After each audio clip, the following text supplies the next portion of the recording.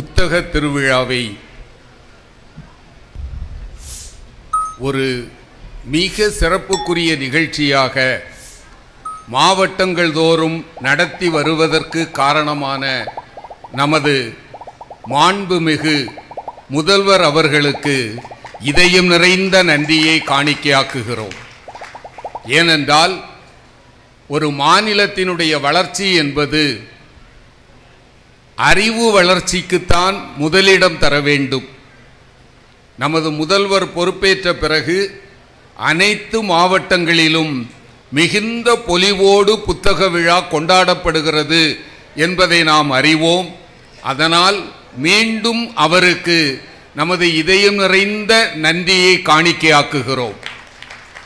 அறிவினுடைய முக்கியத்துவத்தை தெரிந்ததால் தான் மதுரையில் நேற்று ஒரு மிகப்பெரிய நூலகத்தை தலைவர் கலைஞர் அவர்கள் பெயரால் உருவாக்கி இருக்கிறார் ஒரு நூலகம் உருவாகிறது என்றால் ஒரு சிறைச்சாலை மூடப்படுகிறது என்று ஒரு அறிஞன் சொன்னான். எனவே நூலகங்களும் புத்தக திருவிழாக்களும் ஒரு மாநிலத்தை செழுமைப்படுத்துவன. இன்று இதை மிக சிறப்பாக நடத்தி கொண்டிருக்கக்கூடிய மாவட்ட ஆட்சியர் உட்பட மாவட்ட நிர்வாகத்தினர் அனைவருக்கும் எங்கள் பணிவு நிறைந்த நன்றிகள் உரித்தாகுக.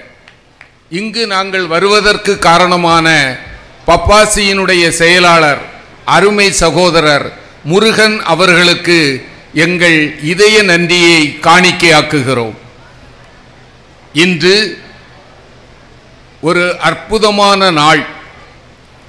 மேடையில் ஆறு அறிஞர்கள் வீற்றிருக்கிறார்கள். பட்டிமன்றம் என்கிற கலை தமிழ் மொழிக்கு மட்டுமே உரியது. பேச்சு என்பது எல்லா மொழிகளிலும் உண்டு.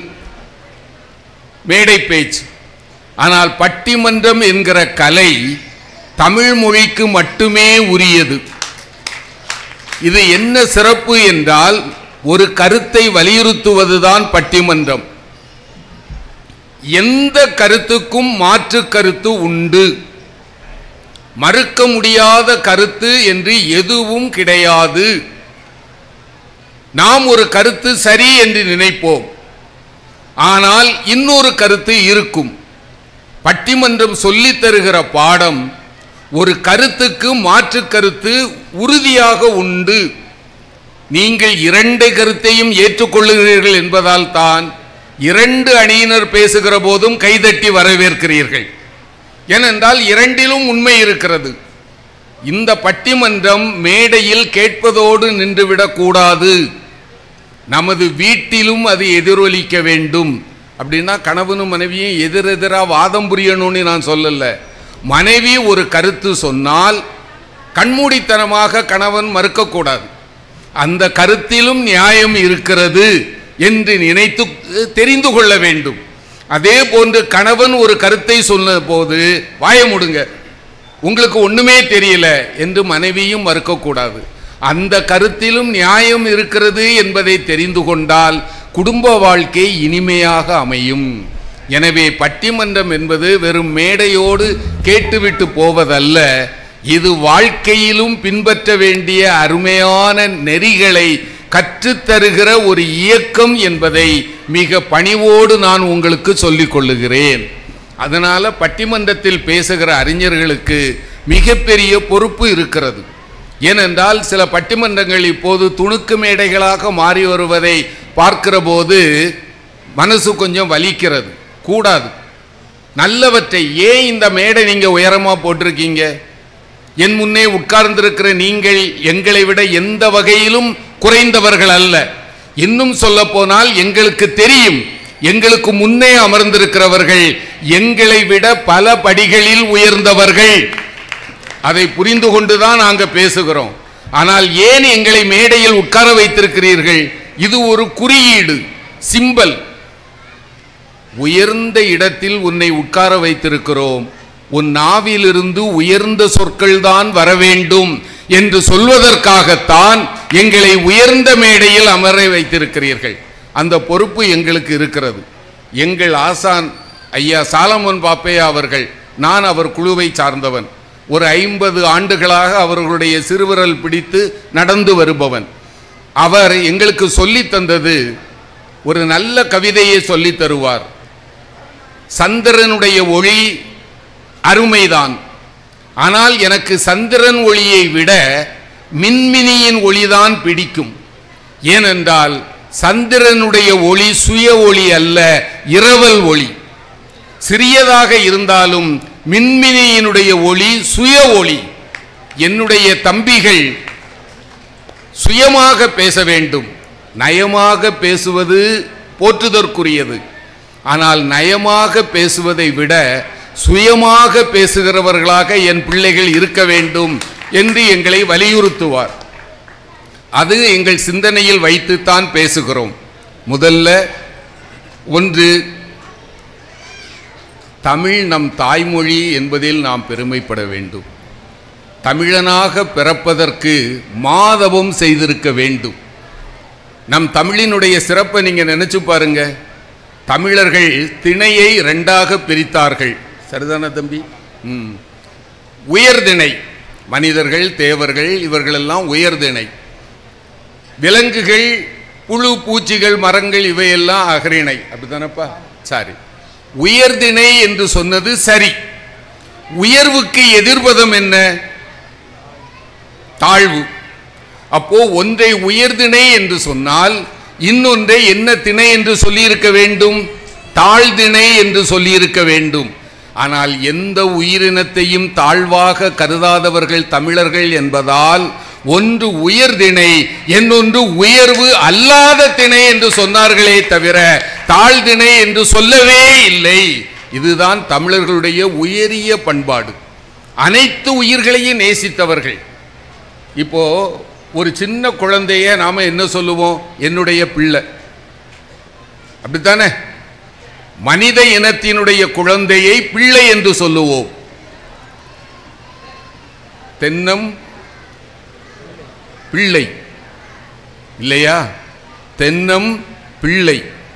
அணில் பிள்ளை. கீரி பிள்ளை. தமிழன் ஒருவன்தான். மனித இனம் இல்லாத உயிர்களையும் பிள்ளை என்று கருதி அழைத்த பெருமைக்குரியவர்கள் தமிழர்கள். அதுதான் ஏன் நம்ம மொழியினுடைய பண்பாடு. வேறு எவரையும் காயப்படுத்தக்கூடாது எவரையும் எளிதாக புறம் தள்ளிவிடக் கூடாது. எல்லோரும் உயர்ந்தவர்கள் என்கிற சிந்தனையை ஆழமாக பதித்தது. இங்கே இருக்கக்கூடியவர்கள்ட்ட முதல்ல நான் ஒரு பணிவான வேண்டுகோள் வைக்கிறேன். பெற்றோர்கள் நிறைய வந்திருக்கீங்க குறிப்பாக தாய்மார்கள். அம்மா உங்கள் குழந்தைகளுக்கு நீங்கள் பிறந்த நாள் விழா கொண்டாடுகிற போது இனிப்பு வாங்கி கொடுக்கிறீர்கள். புதிய ஆடை வாங்கி கொடுக்கிறீர்கள். எத்தனை பேர் பிறந்த நாள் அன்று உங்கள் குழந்தைக்கு புத்தகம் வாங்கி கொடுத்தீர்கள்? தயவு செய்து இனி வரக்கூடிய பிறந்த நாளின் போது புத்தாடை வாங்கி கொடுங்கள். இனிப்பு வாங்கி கொடுங்கள். தவறாமல் இரண்டு புத்தகங்கள் வாங்குங்கள். ஒரு புத்தகம் உங்கள் குழந்தையினுடைய நூலகத்திற்கு இன்னொரு புத்தகம் உங்கள் குழந்தை படிக்கக்கூடிய பள்ளிக்கூடத்திற்கு. ஆயிரம் பிள்ளைகள் ஒரு பள்ளியில் படித்தால் ஓராண்டில் அந்த நூலகத்தில் ஆயிரம் புத்தகங்கள் வந்துவிடும். ஏனென்றால் நீங்கள் கொடுக்கிற உணர்வு உடலை வளர்க்கும். பட்டுக்கோட்டை என்ற அற்புதமான கவிஞர் சொன்னார் ஆளும் வளரணும் அறிவும் வளரணும் அதுதாண்டா வளர்ச்சி. இல்லையா? ஆளை வளர்ப்பதற்கு உணவு தேவை அறிவை வளர்ப்பதற்கு புத்தகங்கள் தேவை. தயவு செய்து உங்களுடைய வீட்டில் ஒரு சின்ன இது பெட்டி கூட போதும். அது ஒரு நூலகமாக மலர வேண்டும். அதை உருவாக்குகிற பொறுப்பு பெற்றோர்களுக்கு இருக்கிறது. கொள்வீர்கள் என்கிற நம்பிக்கை இருக்கிறது. நன்றி. இதற்கு நன்றி. பணிவான வணக்கம். தயவு செய்து இதை செய்யுங்கள். இன்னொன்று ஏன் தமிழினுடைய சிறப்பை சொன்னேன் என்றால் இப்போது ஒரு துணுக்கு படித்தேன் மனது வலித்தது. இரண்டு பேர் சந்திக்கிற போது கன்னடத்தில் பேசினால் அவர்கள் கன்னடர்கள். இரண்டு பேர் சந்திக்கிற போது மலையாளத்தில் பேசினால் மலையாளிகள். இரண்டு பேர் சந்திக்கிற போது தப்பும் தவறுமாக ஆங்கிலத்தில் பேசினால் நிச்சயமாக தமிழர்கள். நீங்கள் நினச்சி பாருங்க. வீட்டில் அம்மா இருக்காங்களா? இருக்கிறாங்களா? மம்மி. அதில் என்னன்னு செல்லுமா? மம்ஸ். மம்மின்னா என்ன தெரியுமா ஐயா? சொல்வதற்கு நாக்கு நடுங்குகிறது. எகிப்தில் பிரமிடு தெரியும் இல்லையா? அம்மா பேசுகிற தெய்வம் யா? இங்கே இருக்கிறவர்களுக்கு சொல்லுகிறேன். பிறந்த நாளை கொண்டாடுகிற போது மகிழ்ச்சியாக கொண்டாடுகிறீர்களே. எத்தனை பேர் அம்மாவினுடைய காலில் வீழ்ந்து வணங்கினீர்கள்? நம்முடைய பிறந்த நாள் என்பது என்ன தெரியுமா? நாம் நம் தாயை மரண வேதனைக்குட்படுத்திய நாள். ஆனால் முதல் பிறந்த நாளை மகிழ்ச்சியாக கொண்டாடுகிற தெய்வம் அம்மா தானையா இல்லையா? இந்த அம்மாவை போய் மம்மி ஆக்கலாமா? மம்மி யாராவது ஒரு குழந்தை மம்மின்னு கூப்பிடும்போது நான் உண்மையாக சொல்கிறேன் ஐயா. கடவுளை வேண்டுவேன். ஐயோ இந்த குழந்தை தெரியாமல் சொல்லுது இறைவா. இந்த குழந்தைக்கு தாய் நூறாண்டுகள் வாழ வேண்டும். ஏனென்றால் யார் உலகமகா கோடீஸ்வரர் தெரியுமா? பில்கேட்ஸையோ அல்லது அதானி அம்பானியோ சொல்லாதீர்கள். யார் ஒருவருக்கு நீண்ட காலம் தாயும் தந்தையும் வாழ்கிறார்களோ அவர்கள்தான் இந்த உலகத்திலேயே மிகப்பெரிய கோடீஸ்வரர்கள். இல்லையா? அப்பாவை ஏன் டேடி ஆக்கணும்? டேட்! தோடுங்கிறது தவளையில் ஒரு இனங்கயா அப்பா அந்த இனமா? அப்பான்னு சொல்லக்கூடாதா? நான் ரொம்ப பயப்படுகிற ஒரு வார்த்தைம்மா. ஆண்டி. நம்ம பெண்களை எல்லாம் பாருங்கள் மகாலட்சுமி மாதிரி இருக்கிறீங்கம்மா. பக்கத்து வீட்டு குழந்தை வந்து உங்களை ஒரு நிமிடத்தில் ஆண்டி ஆக்கிடுது ஆண்டி நான் யாராவது என் மனைவியை ஆண்டின்னு அழைத்தா நடுங்கி போயிடுவேன் நான் ஒழுங்காக அவளை காப்பாற்ற வேண்டியதானே என் மாமனார் கல்யாணம் பண்ணி கொடுத்துருக்கிறாரு. பக்கத்து வீட்டு குழந்தை வந்து ஆண்டி ஆக்கிருது ஆண்டி அப்போ நான் என்ன ஆண்டனாவா? நீங்கள் நினச்சி பாருங்க ஐயா. ஏனென்றால் ஆங்கிலேயர்களுடைய வாழ்க்கை கூட்டு வாழ்க்கை அல்ல. சித்தப்பா எல்லாம் அவங்க ஒரே வீட்டில் இருக்க மாட்டாங்க. நமக்கு பெரியப்பா உண்டு. நம்மை பள்ளிக்கூடத்தில் சேர்த்தது பலருக்கு பெரியப்பாவாக இருக்கலாம். அல்லது பெரியப்பா வரலையா? என்ன பள்ளிக்கூடத்தில் கொண்டு சேர்த்தது என்னுடைய சித்தப்பா ஐயா? அப்பாவுக்கு இடத்துல சித்தப்பா நிற்பார். அப்பா சித்தப்பா மாமா இதெல்லாம் ஒரே பொருளா. அப்புறம் என்ன? அங்கிள். கொலையே பண்ணிடுது அவரை. அங்கிள். இல்லையா? அங்கிள்னா சித்தப்பாவா பெரியப்பாவா மாமாவா? ஆ அங்கிள் ஆண்டின்னா சித்தியா பெரியம்மாவா அத்தையா மாமியா? நம்மிடத்தில் இத்தனை உறவு சொற்கள் இருக்கிறது இல்லையா? தமிழராகிய நாம் தமிழ் சொற்களை சொல்வதில் கூசலாமா? அதை விட கொடுமை என்ன தெரியுமா? இது தஞ்சை. தமிழகத்திற்கே உணவு வழுகின்ற புண்ணிய பூமி. ஆனால் இப்போ தமிழர்கள் வீட்டில் சோறு கிடையாது. என்ன இருக்குது தெரியுமா? ரைஸ். கொஞ்சம் ரைஸ் போடுங்க. உண்மையா இன்றைக்கு காலையில் நாங்கள் நாகர்கோவிலிருந்து வருகிறோம். தம்பி நாங்கள் எல்லாம் ஒரு உணவு விடுதியில் சாப்பிடுகிற போது எங்களுக்கு எதிர்த்தாப்புல ஒரு குடும்பம் சாப்பிட்டுட்டு இருக்கு அதான் உன் வேலையான்னு கேட்காதீங்க. சொன்னதுனால கேட்க பார்க்குறேன். அந்த பரிமாறுகிறவர்கிட்ட அந்த அம்மா ஏதோ ஒரு மாரியம்மாவாக இருக்கணும். அது சொல்லுது ஒயிட் சட்னி வை. நம்ம மாரியம்மா வாயில் தேங்காய் சட்னி வரமாட்டேங்குது ஐயா. ஒயிட் சட்னி வை. நான் தம்பி கருணாநிதியை பார்த்தேன். அவர் என்ன பரிதாபமாக பார்க்குறாரு. இது என்ன? இது இதுதான் நம்ம கற்றோமா? நம்முடைய மொழி அதை மதிப்பதற்கு கற்றுக்கொள்ள வேண்டாமா? செந்தமிழே உயிரே நருந்தேனே செயலினை மூச்சினை உனக்களித்தேனே. நலிந்தாயெனில் நைந்து போகும் என் வாழ்வே. நன்னிலை உனக்கு எனில் எனக்கும் தானே என்று பாடியவர் பாரதிதாசன். வீழ்ச்சி ஒரு தமிழகத்தில் எழுச்சி வேண்டும். விசை ஒடிந்த தேகத்தில் வன்மை வேண்டும். சூழ்ச்சிதனை வஞ்சகத்தை பொறாமை தன்னை தொகையாக எதிர் நிறுத்தி. தூள்தூளாக்கும் கால்சிந்தை மரச்செயல்கள் மிகவும் வேண்டும். கடல் போல் செந்தமிழை பெருக்க வேண்டும். பாவேந்தர் பாரதிதாசன்.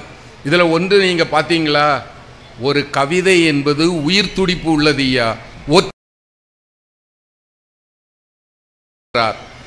சூழ்ச்சி வஞ்சகம் பொறாமை நேருக்கு நேராக செய்வதா? இல்லை. முதுகுக்கு பின்னால் பொறாமையாகட்டும்.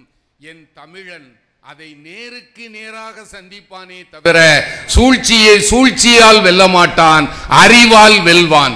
அதனால தான் சொன்னார் சூழ்ச்சியை வஞ்சகத்தை பொறாமை தன்னை தொகையாக எதிர் நிறுத்தி தூள் தூளாக்கும் காழ்ச்சிந்தை மரச்செயல்கள் மிகவும் வேண்டும். கடல் போல் செந்தமிழை பெருக்க வேண்டும்னார்.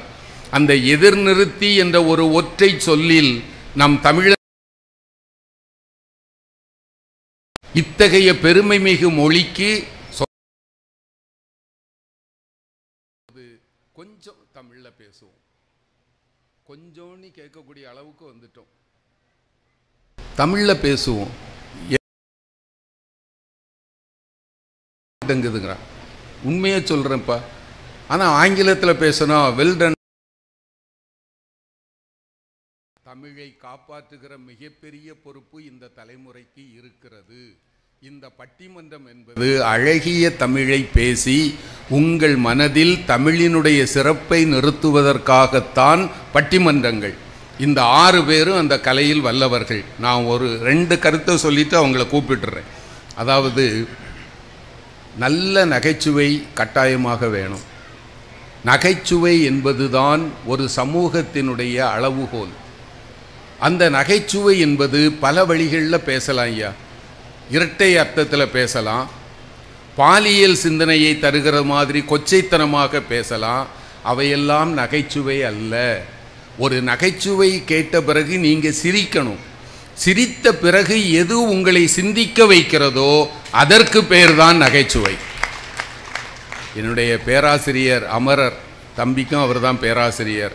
ஐயா நமச்சிவாயம் அவர்கள் சொல்வார் நான் வகுப்பறையிலேயே பார்த்துருக்குறேன்ப்பா பெண்களுக்கு தான் நகைச்சுவை உணர்வு அதிகம் பார் எப்படியா சொல்கிறீங்கம்பார் நகையை எடுத்து வாயில் வைத்து சுவைக்கிறாங்களே இந்த சுவை அவங்களுக்கு தான் அதிகம் பார் அது எங்கள் ஐயா நமச்சிவாயம் அவருடைய டச்சு சரிதானே தம்பி? இப்போ நான் ஒரு ஒரு ஒரு செய்தி சொல்கிறேன் ஐயா. என்எஸ் கிருஷ்ணன்னு ஒருவரை கேள்விப்பட்டிருக்கீங்களா ஐயா? அவர் அதிகம் படிக்கலை ஐயா. அதிகம் படிக்கலை ஆனால் சிந்தனையாளர். சிந்தனையாளர். அவருடைய ஒவ்வொரு நகைச்சுவையும் சிரிக்க வைக்கும் சிந்திக்கவும் வைக்கும். ஒரு திரைப்படம். அவரும் அவருடைய மனைவி டி ஏ மதுரம் அம்மாவும் தான் ஜோடியாக நடிப்பாங்க. ரெண்டு இவர் ஒரு ப அந்த படத்தில் ஒரு ஜமீன்தார். இந்த மாதிரி ஒரு கம்பீரமான ஆசனத்தில் உட்காந்து கால் மேலே கால் போட்டுட்டு இருப்பார். பெரிய பட்டு அங்கவஸ்திரம். மனைவியை பார்த்து அப்படி கூப்பிடுவார். கவா அந்த அம்மா வந்து கூப்பிட்டீங்களா? அப்படின்னு கை கட்டி நிற்பாங்க நம்ம ரெண்டு பேருக்கும் கல்யாணம் ஆகி எத்தனை வருஷம் ஆச்சு? பன்னிரெண்டு வருஷம் ஆயிட்டுதுங்க. பன்னிரெண்டு வருஷம் ஒரு மாமாங்கம். ஏதாவது நமக்கு பிள்ளைக்குட்டி இருக்கா? இல்லைங்க. அதனால் நான் ஒரு முடிவு பண்ணிட்டேன் அடுத்த கல்யாணம். அந்த அம்மா சொல்லுவாங்க இல்லைங்க நீங்கள் எனக்கு குழந்த நான் உங்களுக்கு குழந்த. இந்த வேலையெல்லாம் என்கிட்ட வச்சுக்காத. இந்த இடத்துல ஒரு தொட்டில் கட்டி அதில் நான் ஒன்றை தூக்கி போட்டு தாளாட்ட முடியுமா? அல்ல நீ என்னை இடுப்பில் வச்சுட்டு வெளியில் போக முடியுமா? நான் கணவன் நீ மனைவி தான். இந்த பாரு தமிழ் பெண்கள் கற்புள்ளவங்க. கற்புன்னா என்ன தெரியுமா? தெரியலீங்க. கணவன் என்ன சொன்னாலும் கேட்கணும். அதுதான் கற்பு. நீ கற்புள்ளவா. அதனால் நான் சொன்னால் கேட்கணும். இப்போ என்ன சொல்ல போகிறீங்க ஒன்றும் இல்லை. அடுத்த கல்யாணம். அதுக்கு சம்மதிக்கணும். வேண்டாங்க ஒரு குழந்தை தத்தெடுத்துக்கலாம். ஆ நம்ம ரத்த மாதிரி வராது. அதுக்காக இவ்வளவு சொத்து? நமக்கு எவ்வளவு சொத்து இருக்குது சொல்லு. ஐயோ அது சொல்ல முடியாதுங்க. கோடிக்கணக்காக இருக்குது அடுத்த கல்யாணம் நீ சம்மதிச்சாகணும். அந்த அம்மா பணிவாக கேட்பாங்க. சம்மதிக்கலைன்னா? நான் ரொம்ப வருத்தப்படுவேன். கற்புள்ள பெண்ணாக இருந்தால் கணவனை வருத்தப்பட வைக்கக்கூடாது இப்போது உன் கற்பனை நிரூபித்து காட்டு. அடுத்த கல்யாணத்துக்கு சம்மதிச்சிரு. அந்த அம்மா அப்படி ஒரு நிமிஷம் பார்ப்பாங்க அடுத்த கல்யாணத்துக்கு சம்மதிக்கலைன்னா நீங்கள் ரொம்ப வருத்தப்படுவீங்க. அப்படித்தானே? ஆமாம் சரிங்க. நீங்கள் வருத்தப்பட வேண்டாம். அடுத்த கல்யாணம். இந்த பாரு உனக்கு எஸ்டேட் வேணுமா? பேங்க் பேலன்ஸ் வேணுமா? எவ்வளோ வேணாலும் தர்றேன். அதெல்லாம் ஒன்று வேணாங்க. ஒரே ஒரு நிபந்தனை தான். சொல்லு நிறைவேற்றிடுறேன் அந்த அம்மா சிரிச்சுக்கிட்டே சொல்லுவாங்க மாப்பிள்ளை மட்டும் உங்களை மாதிரி இல்லாமல் புத்திசாலி பையனாக பாருங்க. என்எஸ் கிருஷ்ணன் ஆடி போயிடுவார். நீ நீ நீ என்ன சொல்கிற ஆமாங்க நமக்கு குழந்தை இல்லைன்னு என்ன ரெண்டாம் கல்யாணம் பண்ண சொல்கிறீங்க நானும் எவ்வளவோ வேண்டாம் வேண்டாம் வேண்டாங்கிறேன். உங்கள் மனசு வருத்தப்படும். என் கற்பை வேற சந்தேகப்பட்டுட்டீங்க. அதனால் நல்ல பையனாக பாருங்க சம்மதிக்கிறேன். அந்த அம்மா போயிடுவாங்க என் எஸ் கிருஷ்ணன் ஒரு திருட்டு மொழி முழிச்சிட்டு அந்த அங்கவஸ்திரத்தை எடுத்து தலையில் போட்டுட்டு உள்ளே போய்விடுவார். இப்போது சகோதரிகளே நீங்கள் சிந்திச்சு பாருங்க இது வெறும் நகைச்சுவையா? ரெண்டாம் திருமணம் செய்கிற உரிமை ஆணுக்கு இருக்குமானால் அதே உரிமை பெண்ணுக்கும் உண்டு.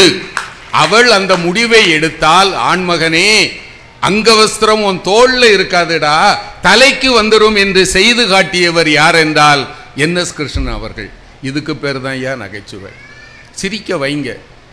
ஆனால் கொஞ்சம் நகைச்சுவை உணர்வு இயல்பாக இருக்கணும். நம்ம தமிழ்நாட்டில் நினைத்து பார்க்க வேண்டிய ஒரு முதல்வர் நமது மரியாதைக்குரிய அமரராகிவிட்ட பேரறிஞர் அண்ணா. அண்ணா அவர்களும் மாப்போசி அவர்களும் உணவு உண்டு கொண்டிருக்கிறார்கள். மாப்போசி அசைவ பிரியர். வள்ளலாரை பற்றி பேசிகிட்டே பிரியாணி தான் சாப்பிடுவார். நான் அவரை குறைவா சொல்லலை. ஆனால் அன்றைக்கு சாப்பிட உட்காருகிற போது அசைவ உணவு வருகிறது. மாப்போசி இப்படி தடுக்கிறார். அண்ணா ஆச்சரியமாக பார்த்தார்.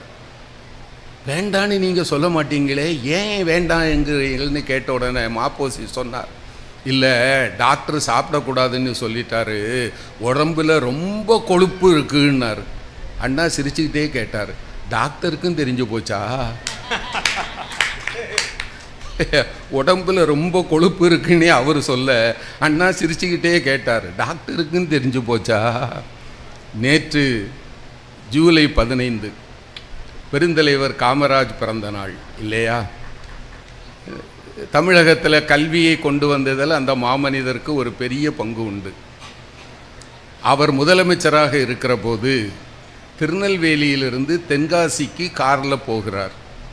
போகிற போது இடையில் ஒரு ஊர் வருகிறது பாவூர் சத்திரம்.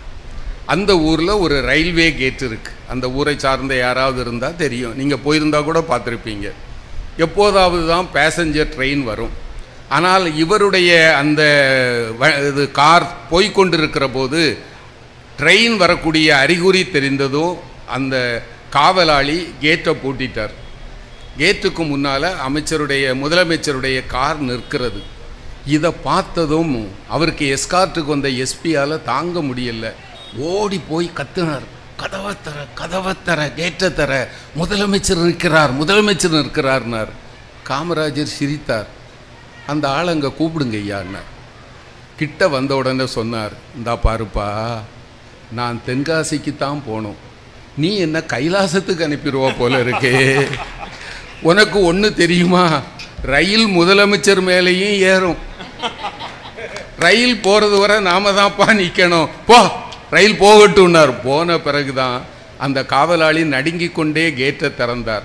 கேட்டை தாண்டதும் காமராஜர் அந்த காவலாளியை கூப்பிட்டு தட்டி கொடுத்து சொன்னார் நீ செய்தது தான்ப்பா சரி டியூட்டியில் இப்படித்தான் இருக்கணும். இந்தா பாரு நான் தமிழ்நாட்டுக்கு தான் முதலமைச்சர். இந்த கேட்டுக்கு நீதாப்பா ராஜா என்று சொல்லிவிட்டு போனது அவர் வாழ்க்கையில் ஒரு சம்பவம். இந்த மாதிரி நிறைய இருக்குது இந்த ஒரு நிகழ்ச்சியை சொல்லிட்டு அவங்கள கூப்பிட்டுறேன். நமது வணக்கத்துக்குரிய பிரதமர் நேரு பிரான் இந்தியாவினுடைய எல்லா வளர்ச்சிகளுக்கும் அடித்தளம் அமைத்தவர். நீங்கள் யார்? எந்த கட்சியாக இருக்கலாம். எங்களுக்கு கட்சி கிடையாது. ஆனால் உண்மையை சொல்லியாகணும் இந்த நாடு அறிவியல் ரீதியாகவும் தொழில் ரீதியாகவும் வளர வேண்டும் என்ற கனவு கண்ட மகத்தான மாமனிதர். அவர் முதலில் பிரதமராக இருக்கிற போது ஆந்திராவுக்கு வந்திருக்கிறார். அவர் என்ன சொன்னார்? நான் வேறு எதையும் பார்க்க விரும்பலை. குதுப்மினார் அங்கெல்லாம் கூட்டிகிட்டு போகாதீங்க. ஒரு மனநோயாளிகள் விடுதிக்கு என்னை கூட்டிகிட்டு போங்க. அவர்களுக்கு செய்ய வேண்டியதை நாம் செய்யணும்னார். பிரதமரோட கூட டா- டாக்டர் ராதாகிருஷ்ணன் அவர்களும் போகிறார். அப்போது அவர் துணை ஜனாதிபதி. முதல்ல ஒரு செல்லில் இருக்கிற ஒரு ஆளை கூப்பிட்டு உன் பேர் என்னப்பான்னு கேட்டால் அவன் பேரை சொன்னான் என்னன்னு சொன்னான் அந்த நோயாளி பிரதமரை பார்த்து கேட்டான் நீ யார்? அப்படின்னுட்டு. நேருஜி பணிவாக சொன்னார் என் பெயர் ஜவஹர்லால் நேரு. நான் தான் இந்தியாவினுடைய பிரதமர்னார். அந்த நோயாளி பரிதாபப்பட்டான். ஐயோ பாவம். இங்கே வரும்போது நானும் இப்படித்தான் சொல்லிக்கிட்டு இருந்தேன். சீக்கிரம் உங்களுக்கும் குணமாயிரும். நேருஜி அப்படியே சிரித்தார். சிரித்து விட்டு சொன்னார் துணை ஜனாதிபதிகிட்ட இதிலிருந்து என்ன தெரிகிறது? மனநலம் இல்லாதவரும் பிரதமராகலாம் என்று தெரிகிறதான்னாரு ஜனாதிபதி எப்படிப்பட்ட ஆள்? பிரதமராக வருகிற போது நல்லா தான் இருப்பார். நாங்கள் அவரை இந்த நிலைமைக்கு ஆளாக்கிடுவோம்னார் நேருஜி சிரித்து கொண்டே போய்விட்டார். இதே மாதிரி நீங்கள் பெரியவர்களுடைய வாழ்க்கையில் பார்த்தா நகைச்சுவையாக எடுத்துக்கொள்வதற்கு எவ்வளவோ நிகழ்ச்சிகள் இருக்கும். ஏன் இதை சொல்லுகிறேன் என்றால் நம்முடைய வாழ்க்கை மகிழ்ச்சியாக இருப்பது இல்லங்களில்தான் அதனால் எவ்வளவு பெரிய கடுமையான நிகழ்ச்சியாக இருந்தாலும் அதை கொஞ்சம் நகைச்சுவை உணர்வோடு வீட்டில் பார்த்துட்டா சரியா போச்சு. சரியாக போச்சு. அதை கடுகடுப்பான முகத்தோடு சொல்லாமல் கொஞ்சம் வளர்ந்த முகத்தோட சில குறைகளை சுட்டி காட்டினா கூட சரியாக போயிருங்க. இப்போது நான் ஒரு கல்லூரியில் ஒரு முப்பத்தைந்து ஆண்டுகள் ஆசிரியனாக இருந்தவன் ஐயா. நான் கற்றுக் கொடுத்தேன் என்று சொல்வதை விட கற்றுக்கொண்டது அதிகம். ஒரு காலத்தில் எனக்கு கோபம் வரும். வந்தால் நான் என்ன பயன்படுத்துகிற வார்த்தை என்ன தெரியுமா? அதிகமாக அறிவு இருக்கா? ஒரு நாள் நான் வகுப்பு நடத்தி கொண்டிருக்கிற போது ரெண்டு மாணவர்கள் பின்வரிசையில் உட்காந்து பேசிகிட்டு இருக்கிறான். நமக்கு கோபம் வருவது மாணவர்கள் பேசினால்தான். சில மாணவர்கள் நம்மையே குழப்பிடுவான்.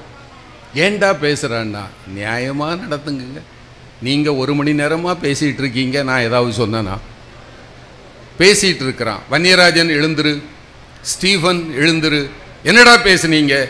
அந்த ஸ்டீஃபன் ரொம்ப பணிவா. சாரியா இனி பேச மாட்டேன் உட்கார். வன்னியராஜன் ஒன்றும் இல்லை. டேய் ஒன்றும் இல்லாமல் பேசுகிறவன் பைத்தியம். நீ பைத்தியமாடா? அறிவு இருக்கா? உட்காருன்னு அவன் ஏதோ முணுமுணுத்துக்கிட்டு உட்கார்ந்தான். பையன் முணுமுணுக்கிறான்னா அவங்கிட்ட செய்தி இருக்குன்னு அர்த்தம். நான் வகுப்பு முடித்த உடனே அவனை கூப்பிட்டேன். வன்னியராஜன் இங்கே வா. என்னமோ முணுமுணுத்தியே என்னப்பான்னா? வேண்டாம் சார். சொன்னால் ரொம்ப சங்கடப்படுவீங்கன்னா. நான் சொன்னேன் எனக்கு கல்யாணம் ஆகி ரொம்ப வருஷம் ஆச்சு. நான் அந்த சங்கடப்படுறதையெல்லாம் விட்டுக்கிட்டேன் சும்மா சொல்லுன்னேன். அப்போது கேண்டீனில் உட்காந்து பேசுவோன்னா உண்மையிலேயே எங்கள் கல்லூரி கேண்டீன் ரொம்ப நல்லா இருக்கும் ஐயா. அங்கே போய் ரெண்டு ஸ்வீட்டு பப்ஸு கேக்கு. என்ன ஏன் செலவு தானே? எல்லாம் சாப்பிட்டான். என்னப்பா காஃபியா டீயான்னே. சார் அதெல்லாம் உடம்புக்கு கேடு. நீங்கள் குடிங்க. நான் ஐஸ்கிரீம் சாப்பிட்டுக்கிறேன்னுட்டான். சாப்பிட்டு முடிச்சிட்டு ஒரு மர நிழலில் வந்து சொல்கிறான் நீங்கள் நமக்கு வேண்டியவங்க ஆயிட்டீங்க.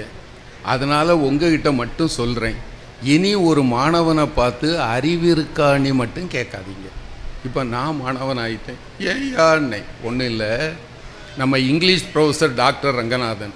அவர் தானே உங்கள் நண்பர்? ஆமாப்பா. ரங்கநாதன் எனக்கு நெருக்கமான நண்பர். நீங்கள் அவர்கிட்ட போய் ரங்கநாதன் ஒரு நூறு ரூபாய் இருக்கா அப்படின்னு கேட்டால் என்ன அர்த்தம்? என்ன அர்த்தம்?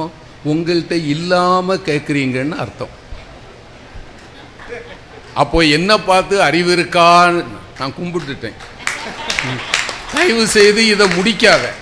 ஏன்னா எனக்கு அறிவு இல்லைன்னு நிரூபிக்காமல் போக மாட்டான் போல் இருக்கு. நான் சொன்னேன் இனி யார்கிட்டையும் அறிவு இருக்கான்னு கேட்க மாட்டேன்ப்பான்னே அவன் போகும்போது என் தோளில் தட்டிட்டு போகிறான் very good sir keep it up இப்போ எனக்கு ஆசிரியர் அவன் ஐயா. இன்னைக்கு வரைக்கும் அதை பின்பற்றுறேன். இனி இந்த அளவோட போதும். இப்போ நீங்கள் இத்தனை பேர் வந்ததற்கு நாங்கள் உங்களை வணங்கி போற்றுகிறோம். பேச்சாளர்கள் அருமையாக பேசுவார்கள். அவர்களுக்கு வழங்கப்பட்ட நேரம் பத்து நிமிடங்கள். அந்த பத்து நிமிடங்களையும் முத்து நிமிடங்களாக மாற்றுகின்ற வல்லமை பெற்றவர்கள்.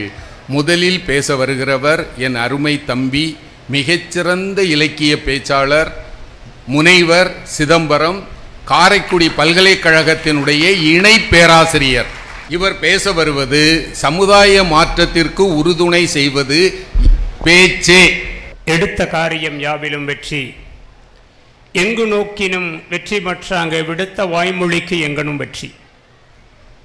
பட்டிமண்டபங்களை இரவு நேர வேள்வியாக செய்து கொண்டிருக்கிற எங்கள் போற்றுதலுக்கும் பெருமதிப்பிற்கும் உரிய நடுவர் பெருந்தகை அவர்களே எனது அணியினுடைய சார்பாகவும் எதிரினுடைய சார்பாகவும் பேசுவதற்காக வருகை தந்திருக்கிற சான்றோர் பெருமக்களே ஒரு அருமையான புத்தக திருவிழாவை மிக சீரும் சிறப்புமாக நடத்தி கொண்டிருக்கிற தஞ்சாவூர் மாவட்ட ஆட்சியர் அலுவலகத்தை சார்ந்திருக்கிற பெரியோர்களே இவர்கள் என்ன பேசுகிறார்கள் என்பதை செவிமடுப்பதற்காக வந்திருக்கிற தஞ்சை தரணியை சார்ந்திருக்கிற அறிவார்ந்த சான்றோர் பெருமக்களே.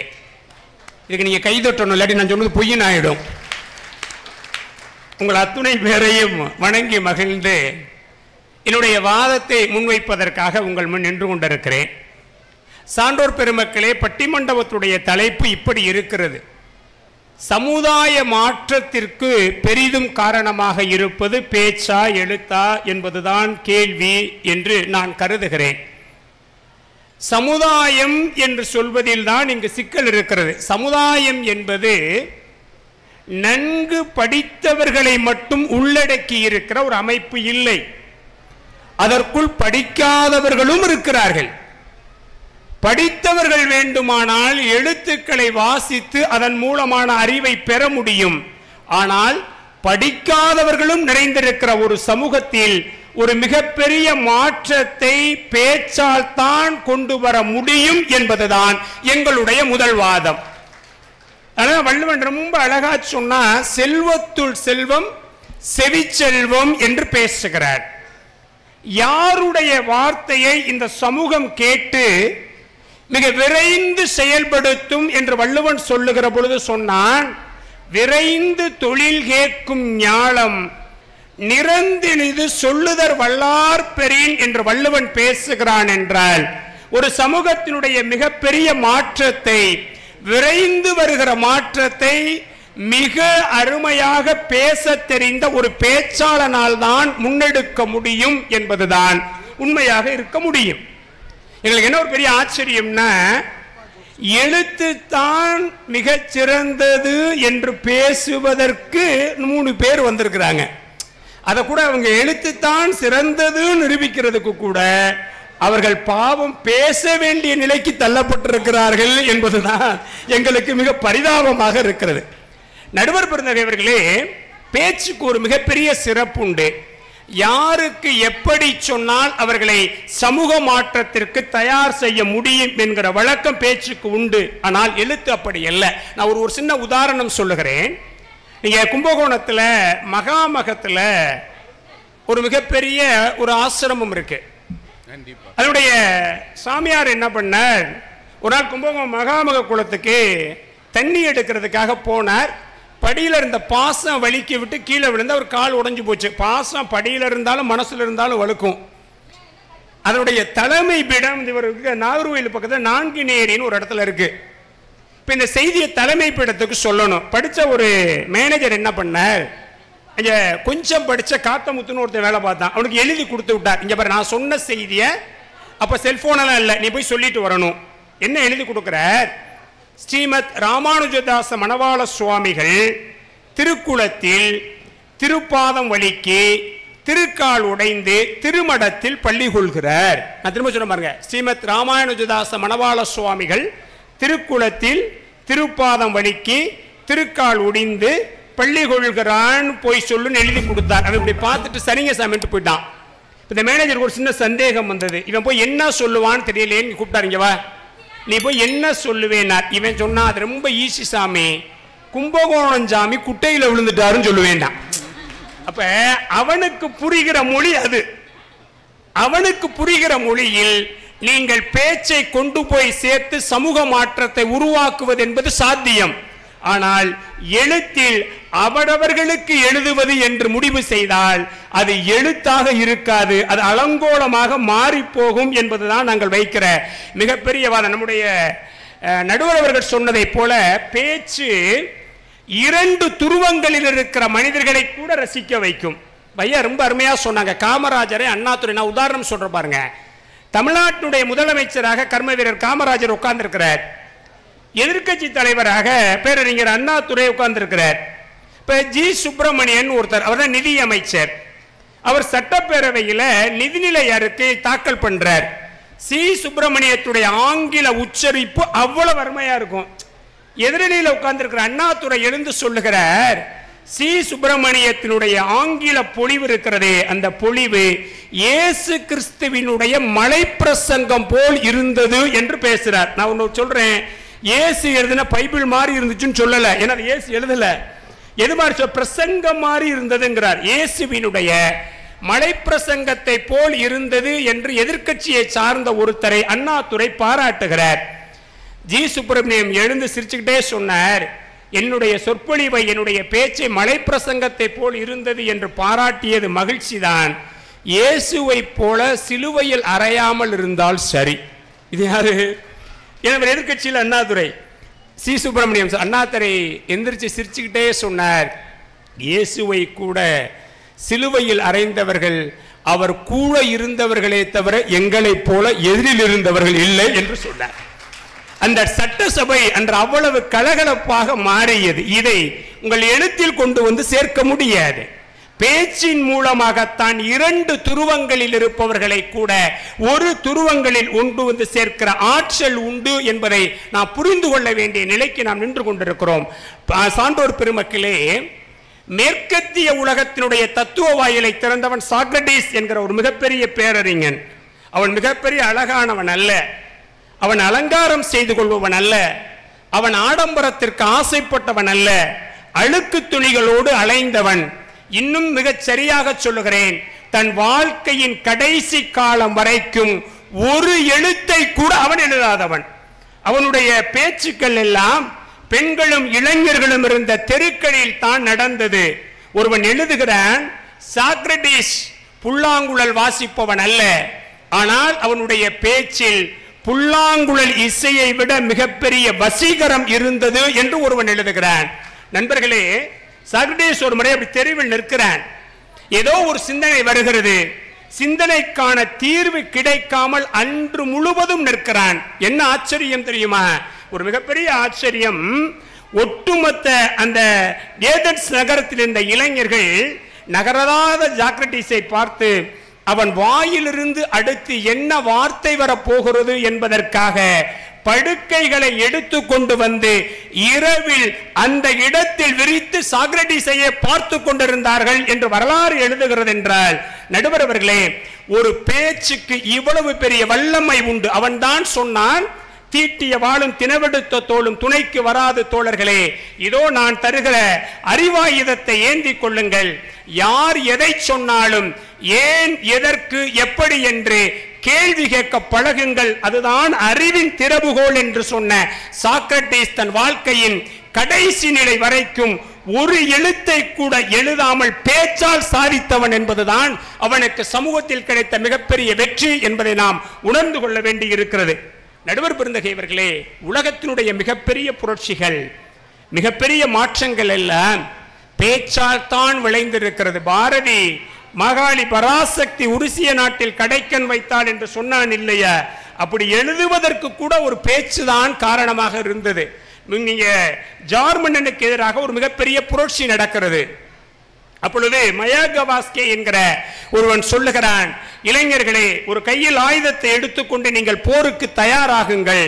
உலகத்தினுடைய மிகப்பெரிய புரட்சிக்கு நீங்கள் வித்திட்டவர்களாக இருக்க போகிறீர்கள். எனவே ஆயுதங்களோடு கிளம்புங்கள் என்று பேசுகிறான். அந்த கூட்டம் மயாகவாஸ்கையை பார்த்து சொன்னது மயாகவாஸ்கே நீ சொல்லுகிற ஆயுதங்கள் வீரத்தினுடைய அடையாளங்களாக இருக்கலாம். ஆனால் அவை வீரத்தை தந்துவிட முடியாது. வீரத்தை தருவதற்காக உன் பேச்சினுடைய வார்த்தைகளை எங்கள் நெஞ்சில் சுமந்து கொண்டு பயணம் செய்கிறோம் என்று ஒரு இளைஞர் கூட்டம் பேசுகிறது என்று சொன்னால் இதை நீங்கள் எழுத்தின் மூலமாக சாதிப்பது என்பது நிச்சயமாக சாத்தியமே இல்லை என்பதுதான் எங்களுடைய மிகப்பெரிய வாதம். நடுவர்களே வரலாற்றினுடைய பல பக்கங்களில் புரட்சிகள் விளைந்திருப்பதெல்லாம் எழுத்துக்களால் அல்ல. பேச்சுக்களால் தான் விளைந்திருக்கிறது. உலகத்தின் மிகச்சிறந்த பேச்சாளன் என்று சிசாரோ என்கிற மேலை நாட்டு அறிஞன் ஒருவனை சொல்லுகிறான். அவனுக்கு டெமான்கினிஸ் என்று பெயர்.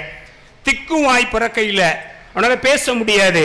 ஆனால் கடற்கரையின் ஓரங்களில் போய் நின்று கொண்டு கூழாங்கற்களை தன் வாயில் பொறுக்கி போட்டு ஒரு மிக பிறந்த பேச்சாளனாக அவன் மாறுகிறான். அவன் பிறந்த ஏதென்ஸ் தேசத்தின் மீது அலெக்சாண்டருடைய தந்தையாக இருந்த பிலிப்பரசன் படையெடுக்கிறான். இவன் என்ன செய்தான் தெரியுமா?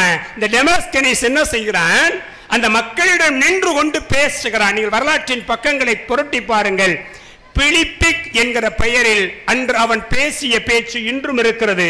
அலெக்சாண்டருடைய தந்தை பிலிப்பை எதிர்த்து அந்த தேசம் வெற்றி பெறுகிற மாற்றத்தை கொண்டு வந்து சேர்த்ததற்கு மிகப்பெரிய காரணமாக இருந்தது. அவனுடைய பேச்சு தான். நடுவர்களை நான் இப்படி நிறைவு செய்கிறேன். கீதை எழுந்த பொழுது இந்த உலகத்தில் எழுத்து இல்லை. கிருஷ்ண பரமாத்மா பகவத்கீதையாகத்தான் அதை பேச்சின் மூலமாகத்தான் சொன்னார். இயேசு கிறிஸ்தினுடைய மலைப்பிரசங்கம் அப்படித்தான் வந்தது. புத்தனுடைய போதனைகள் பின்னால் தான் எழுத்தாக்கப்பட்டன. அது பேச்சால் தான் வந்தது என்ற உலகத்தினுடைய மிகப்பெரிய மாற்றங்களை உருவாக்கி இருக்கிற சமயங்கள் தத்துவங்கள் அத்துணையும் பிற்காலங்களில் வென்றதற்கு பிறகு வேண்டுமானால் அவை எழுத்துக்களாக மாறி இருக்கலாம் ஆனால் பேச்சாக இருந்துதான் இந்த உலகத்தின் மிகப்பெரிய சமூக மாற்றத்தை உருவாக்கி இருக்கிறது என்பதாக சொல்லி எழுத்து என்பது வாசிக்கிறவனை சந்தோஷப்படுத்தலாம். நீங்கள் புதுமை பித்தனை வாசித்தா நீங்கள் சந்தோஷப்படுவீங்க. ஆனால் இவத்துணை பேரையும் புதுமை பித்தனை வாசியுங்கள் என்று சொல்ல முடியாது. ஏனென்றால் ரசனைகள் மாறும். ஆனால் பேச்சு அப்படி அல்ல. படித்தவர் படிக்காதவர் அத்துணை பேரையும் ஒரு இடத்தில் திரட்டி வசீகரம் செய்து சமூகத்தின் மாற்றத்திற்கான வித்தாக அவர்களை மிகச் சிறப்பாக முன்னெடுக்க முடியும் என்பதால் தான் வள்ளுவன் எல்லா நலத்துளும் நாணலம் சிறந்தது என்று பேசினான் என்பதாக சொல்லி நல்ல வாய்ப்புக்கு நன்றி பாராட்டி விடைபெறுகிறேன். நன்றி. வணக்கம் நண்பர்களே. ரொம்ப அருமையாக மிக அருமையாக தன் தலைப்புக்கு எது பொருத்தமோ அதை பேசினார். ஒரு நிமிடம். சாக்ரட்டிஸை பற்றி அவர் சொன்னது மிக அருமை. மனிதனை சிந்திக்க வைக்க வேண்டும் என்று பாடுபட்ட மிகப்பெரிய சிந்தனையாளன் சாக்ரட்டிஸ் ஒரு உதாரணம் அவர் தன்னுடைய மாணவன் பிளேட்டோவை அழைத்து கேட்கிறார் பிளேட்டோ உண்மை என்றால் என்ன? கேள்வி கேட்டு பதிலை வரவழைப்பது அவர் பாணி. பிளேட்டோ சொன்னார் உள்ளத்தில் உணர்ந்ததை உணர்ந்தவாறு சொல்வது உண்மை. திருப்பி சொல் உள்ளத்தில் உணர்ந்ததை உணர்ந்தவாறு சொல்வது உண்மை. அப்படியா? மூன்று வாளிகளை கொண்டு வர வைத்தார். ஒரு நடுவில் இருக்கக்கூடிய வாளியில் சாதாரண இந்த டெம்பரேச்சரில் இருக்கக்கூடிய தண்ணீர் ஒன்றில் வெந்நீர் இன்னொன்றில் பனிக்கட்டி. ஒரு சீடனை அழைத்தார். இந்த பனிக்கட்டியை கையில் எடு.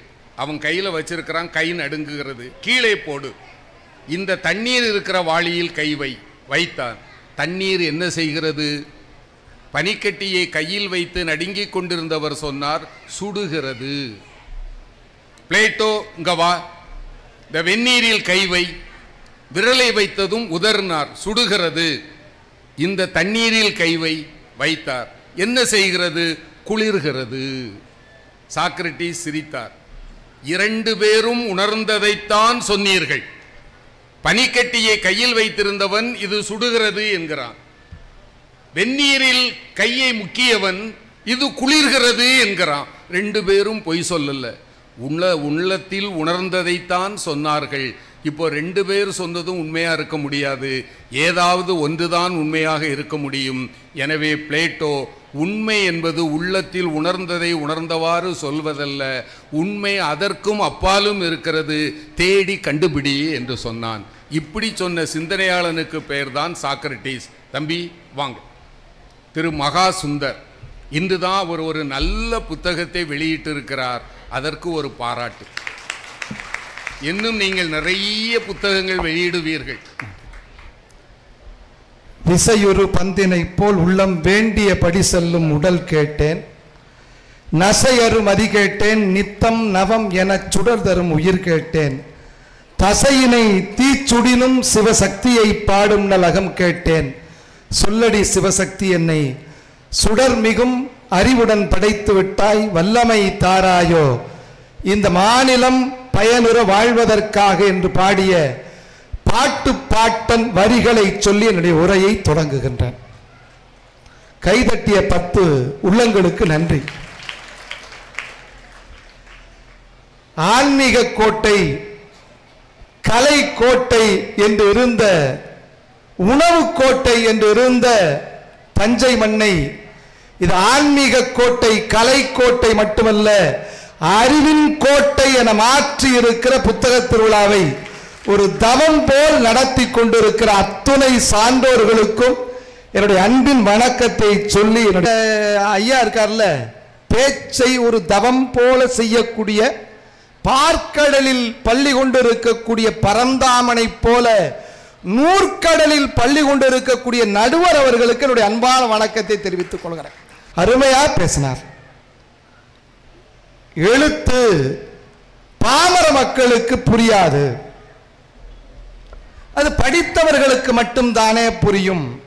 அது மட்டும் இல்லாம ஒரு அற்புதமான பேச்சு. சாக்ரட்டிஸை அண்ணாவை சி. சுப்பிரமணியத்தை தமஸ்தனிசை போன்ற உலக பேரறிஞர்களை எல்லாம் இந்த அரங்கத்தில் காட்டிய பேராசிரியருக்கு என்னுடைய அன்பான வணக்கத்தை தெரிவித்துக் கொள்கிறேன். இவ்வளவு பேரையும் கொண்டு நிப்பாட்டினாரே எங்கள் பேராசிரியர் சிதம்பரம். யாராவது அண்ணா வந்து இவர் காதில் சொன்னாரா? சி. சுப்பிரமணியம் வந்து இவர் காதில் சொன்னாரா? பல நூற்றாண்டுகளுக்கு முன்பு இறந்து போன சாக்கடிஸ் எங்கள் ஐயா பேராசிரியர் காதில் வந்து சொன்னாரா? எப்படி இதை அவர் பேசினார்? மனசாட்சியை தொட்டு சொல்லுங்க. ஒரு ஆழமான அறிவான பேச்சு யாரால் பேச முடியும் என்று சொன்னால் யார் ஆழமாக புத்தகங்களை கற்றிருக்கிறார்களோ எழுத்தெண்ணி படித்திருக்கிறார்களோ அவர்களால் தான் முடியும். பேச்சு என்பது ஆரவாரம் செய்யும் ரசிகர்களை உருவாக்கும். நான் இல்லைன்னு சொல்லலைங்க. கும்பகோணம் ஆசாமி குட்டையில விழுந்த கதையை சொன்னது உங்கள் பேச்சு. விழுந்த கதையை சொல்வது உங்கள் பேச்சு. ஆனால் சமுதாயம் எழுவதற்காக எழுந்த கதையை சொல்வது எங்கள் எழுத்து. நீங்கள் புரட்சின்னு எதை சொல்றீங்க? பேச்செல்லாம் புரட்சியாங்க. நீ பனைமரம் தரக்கூடிய ஓலையை கொண்டு அதே பனைமரத்திலிருந்து வரக்கூடிய கல்லுக்கு எதிராக கல்லுண்ணாமை என்கிற அதிகாரத்தை படைத்த வள்ளுவனுடைய எழுத்தை விட மிகப்பெரிய புரட்சி என்னங்க? உண்மையிலேயேங்க மிகச்சிறந்த பால் எது தெரியுமா? ஆண் பால் பெண் பால் ஆவின் பால் ஆரோக்கிய பால் அதெல்லாம் இல்லைங்க. எல்லா பாலும் கெட்டுரும். கெடலைன்னா அது நல்ல பாலே இல்லை. ஆனால் ஒரு பால் இரண்டாயிரம் ஆண்டுகளுக்கு மேலாக தானும் கெடாமல் தன்னை சார்ந்த இனத்தையும் கெடாமல் வைத்திருக்கிறது என்று சொன்னால் அது நம் வள்ளுவன் என்கிற பாட்டன் தந்த முப்பால். அது எழுத்து புரட்சி இல்லையா? அடுத்தது சொன்னார். அதாவது சாக்ரட்டிஸ் ஒரு எழுத்து கூட படிக்கவில்லை. ஆனால் உலகத்தையே திருப்பி போட்டது அவருடைய பேச்சல்லவா? சாக்ரட்டிஸ் இன்றைக்கும் கூட சாக்ரட்டிஸ் உடைய பேச்சை யாராவது கேட்டிருக்கோமா? எப்ப எழுத்து வந்தது தெரியுமா? எப்ப பேச்சின் மீது நம்பிக்கை இல்லையோ அப்போதுதான் எழுத்து வந்தது என்பது தானே உண்மை. நீங்க இந்திய அரசியலமைப்பு சட்டம் பேச்சா இருக்கா எழுத்தா இருக்கா? இது பதில் சொல்லி ஆகணும். இந்திய சட்டமாக பேசுறான்னு வேணா சொல்லலாம். சில பேர் சத்தமாக பேசுவாங்க சில பேர் சட்டமாக பேசுவாங்க. அது செல்லுபடி ஆகாதுங்க. எப்போ செல்லுபடி ஆகும்? இந்திய அரசியலமைப்பு சட்டம் என்கிற எழுத்து தான் இன்றைக்கும் ஆண்டு கொண்டு இருக்கிறது எழுத்து தான் ஆளும் என்பது உண்மை இல்லை பணம் இருக்குல்லங்க. ஐநூறுரூவா பணம் எப்போ செல்லும் தெரியுமா? அதில் ரிசர்வ் பேங்க் கவர்னர் கையெழுத்து போட்டிருப்பாரு பாருங்க. I promise to the bearer for the five hundred rupees என்று எழுத்துக்குத்தான் சாதாரண காகிதத்தை கூட பணமாக மாற்றுவது எழுத்து என்ற உண்மையை நீங்கள் ஒத்துக்கணும். பாரதியை பற்றியெல்லாம் சொன்னாங்க. பாரதி என்ன சொன்னார்? எமக்கு தொழில் கவிதை பேச்சுன்னு சொல்லலையே. எழுத்தும் தெய்வம் எழுதுகோள் தெய்வம்னு சொன்னாரே. அவர் ஏதாவது பேச்சும் தெய்வம் மைக்கும் ஸ்பீக்கரும் அடுத்த தெய்வம் நான் சொல்லியிருக்காரு. அது மாதிரி இரண்டு துருவங்களை இணைப்பது பேச்சு. நான் உண்மையை ஒத்துக்கிறேன். இரண்டு எதிர் எதிர் துருவங்களான மனிதர்களை இணைப்பது பேச்சு. அது சாதாரணமானது. ஆனால் துருவங்களை கடந்தும் தமிழினத்தை தமிழின் பெருமையை பல ஆயிரக்கணக்கான ஆண்டுகளாக வாழ வைத்துக் கொண்டிருப்பது எழுத்துங்க. நீ அமெரிக்காவினுடைய மிக்சிகன் என்கிற மாகாணத்தில் மிக உயர்ந்த பள்ளிக்கூடத்தில் இன்னொரு இடத்துல வானவெளி ஆராய்ச்சி கூடத்தில் எழுதி போட்டு இருக்கிறார்கள் என்ன எழுதி போட்டிருக்காங்க தெரியுமா? What we have land like handful of earth what we have yet to learn like the whole world எழுதி போட்டிருக்காங்க. இது எங்கேயோ கேள்விப்பட்ட மாதிரி இருக்குல்ல? கீழே தமிழ் போய அவ்வை என்று எழுதி இருக்கிறார்கள் நம்ம அவ்வை பாட்டி பாஸ்போர்ட் எடுக்காம விசா எடுக்காம தன்னுடைய எழுத்தினால் துருவங்களை கடந்து அமெரிக்காவுக்கு பாஸ்போர்ட் விசா எடுக்காம ரெண்டு இடத்துல பயணம் செய்திருக்கிறார் என்று சொன்னால் ஏமாற்றத்தை தரும். ஆனால் எங்கள் எழுத்து மாற்றத்தை தருங்க. உலகத்தையே புரட்டி போட்ட எழுத்து நம்முடைய எழுத்தல்லவா நீங்கள் லண்டனில் பூமிக்கடியில் செல்லக்கூடிய ரயில் நிலையத்தில் உலகத்தின் மிகச்சிறந்த கவிதைகளை மொழிபெயர்த்து எழுதியிருக்கிறார். ஒரு காதல் கவிதை எழுதணும். உலகத்தின் பொதுமையான ஒரு காதல் கவிதை எழுத வேண்டும். அவர்களுக்கு கிடைத்தது நம்முடைய சங்க இலக்கியத்தில் இருக்கக்கூடிய செம்புலப்பேல் நீரார் என்று அழைக்கப்படக்கூடிய யாயும் யாயும் யாராகியரோ எந்தையும் நுந்தையும் எம்முறை கேளீர் என்று உலகத்தினுடைய பொதுவான காதலை தந்தது தமிழனின் எழுத்தல்லவா? இந்த பேச்சு உண்டா? பேச்சுக்கு ஐம்பது வருஷம் உண்டு. ஆயுட்காலம் இருக்கும். சாக்கடேசுடைய பேச்சை நம்ம எங்க பார்க்கிறோம்? எங்க கேட்க முடியுமா? வள்ளுவன் வாழ்கிறான் என்று சொன்னால் கம்பன் வாழ்கிறான் என்று சொன்னால் இளங்கோ வாழ்கிறார் என்று சொன்னால் அவர்கள் எழுத்தின் மூலம் காலத்தை கடந்து வாழ்கிறார்கள். அதுதான் எழுத்தினுடைய வலிமை. உலகத்தை மாற்றி போட்ட புரட்சியாளர்கள் எல்லாம் படித்தவர்கள். கியூபாவில் அமெரிக்க விமானம் குண்டு வீசிக்கொண்டிருக்கிறது பதுங்கு குழியில் பிடல் காஸ்டோ ஒரு கையில் துப்பாக்கியை ஏந்தியபடி வானத்திலே குண்டு வீசக்கூடிய விமானங்களை நோக்கி குறிவைத்து மற்றொரு கையில் புத்தகத்தை படித்துக் கொண்டிருந்தாராம். தோழர் கேட்டார் இந்த நேரத்தில் புத்தகத்தை படிக்கணுமா? இந்த நேரத்திலும் புத்தகத்தை நீங்கள் படிக்க வேண்டுமா? என்று கேட்டபோது ஃபிடல் காஸ்டோ சொன்னார். இந்த கையில் உள்ள துப்பாக்கி நான் சுட்டால் ஒரு விமானத்தை மட்டும்தான் வீழ்த்த முடியும். ஆனால் என்னுடைய மற்றொரு கையில் இருக்கக்கூடிய புத்தகம் இருக்கிறதே. எண்ணற்ற விமானங்களை வீழ்த்தக்கூடிய ஆயுதம் இந்த எழுத்துக்கு உண்டு என்று சொன்னார? அதுதான் எழுத்தின் வழி. மூணு மணி நேரம் பேசக்கூடியத. மூணே வரியில சொல்லக்கூடியதாங்க எழுத்து என்பது. மூணு மணி நேரம் பேச முடியாத ஒரு பூக்காரியை பார்க்கிறார் ஒரு கவிஞர். இந்த பூ விற்கக்கூடிய பூக்காரிகள் பார்த்தீங்கன்னா ஒரு அழகிய ஒரு சோகமான முரண். அந்த பூக்காரிகள் எல்லாம் கணவனை இழந்தவர்களாகவே இருக்கிறார்கள் என்பது வேதனையான விஷயம். ஒரு கவிஞர் எங்கே ஒரு புதுக்கோட்டை கவிஞர் தான் சொன்னார். கூவி கூவி விற்றதில் கூவி கூவி விற்றதில் வாடி போயிருந்தால் பூக்காரி. புரிஞ்ச கைதடுக்கு பாப்பா.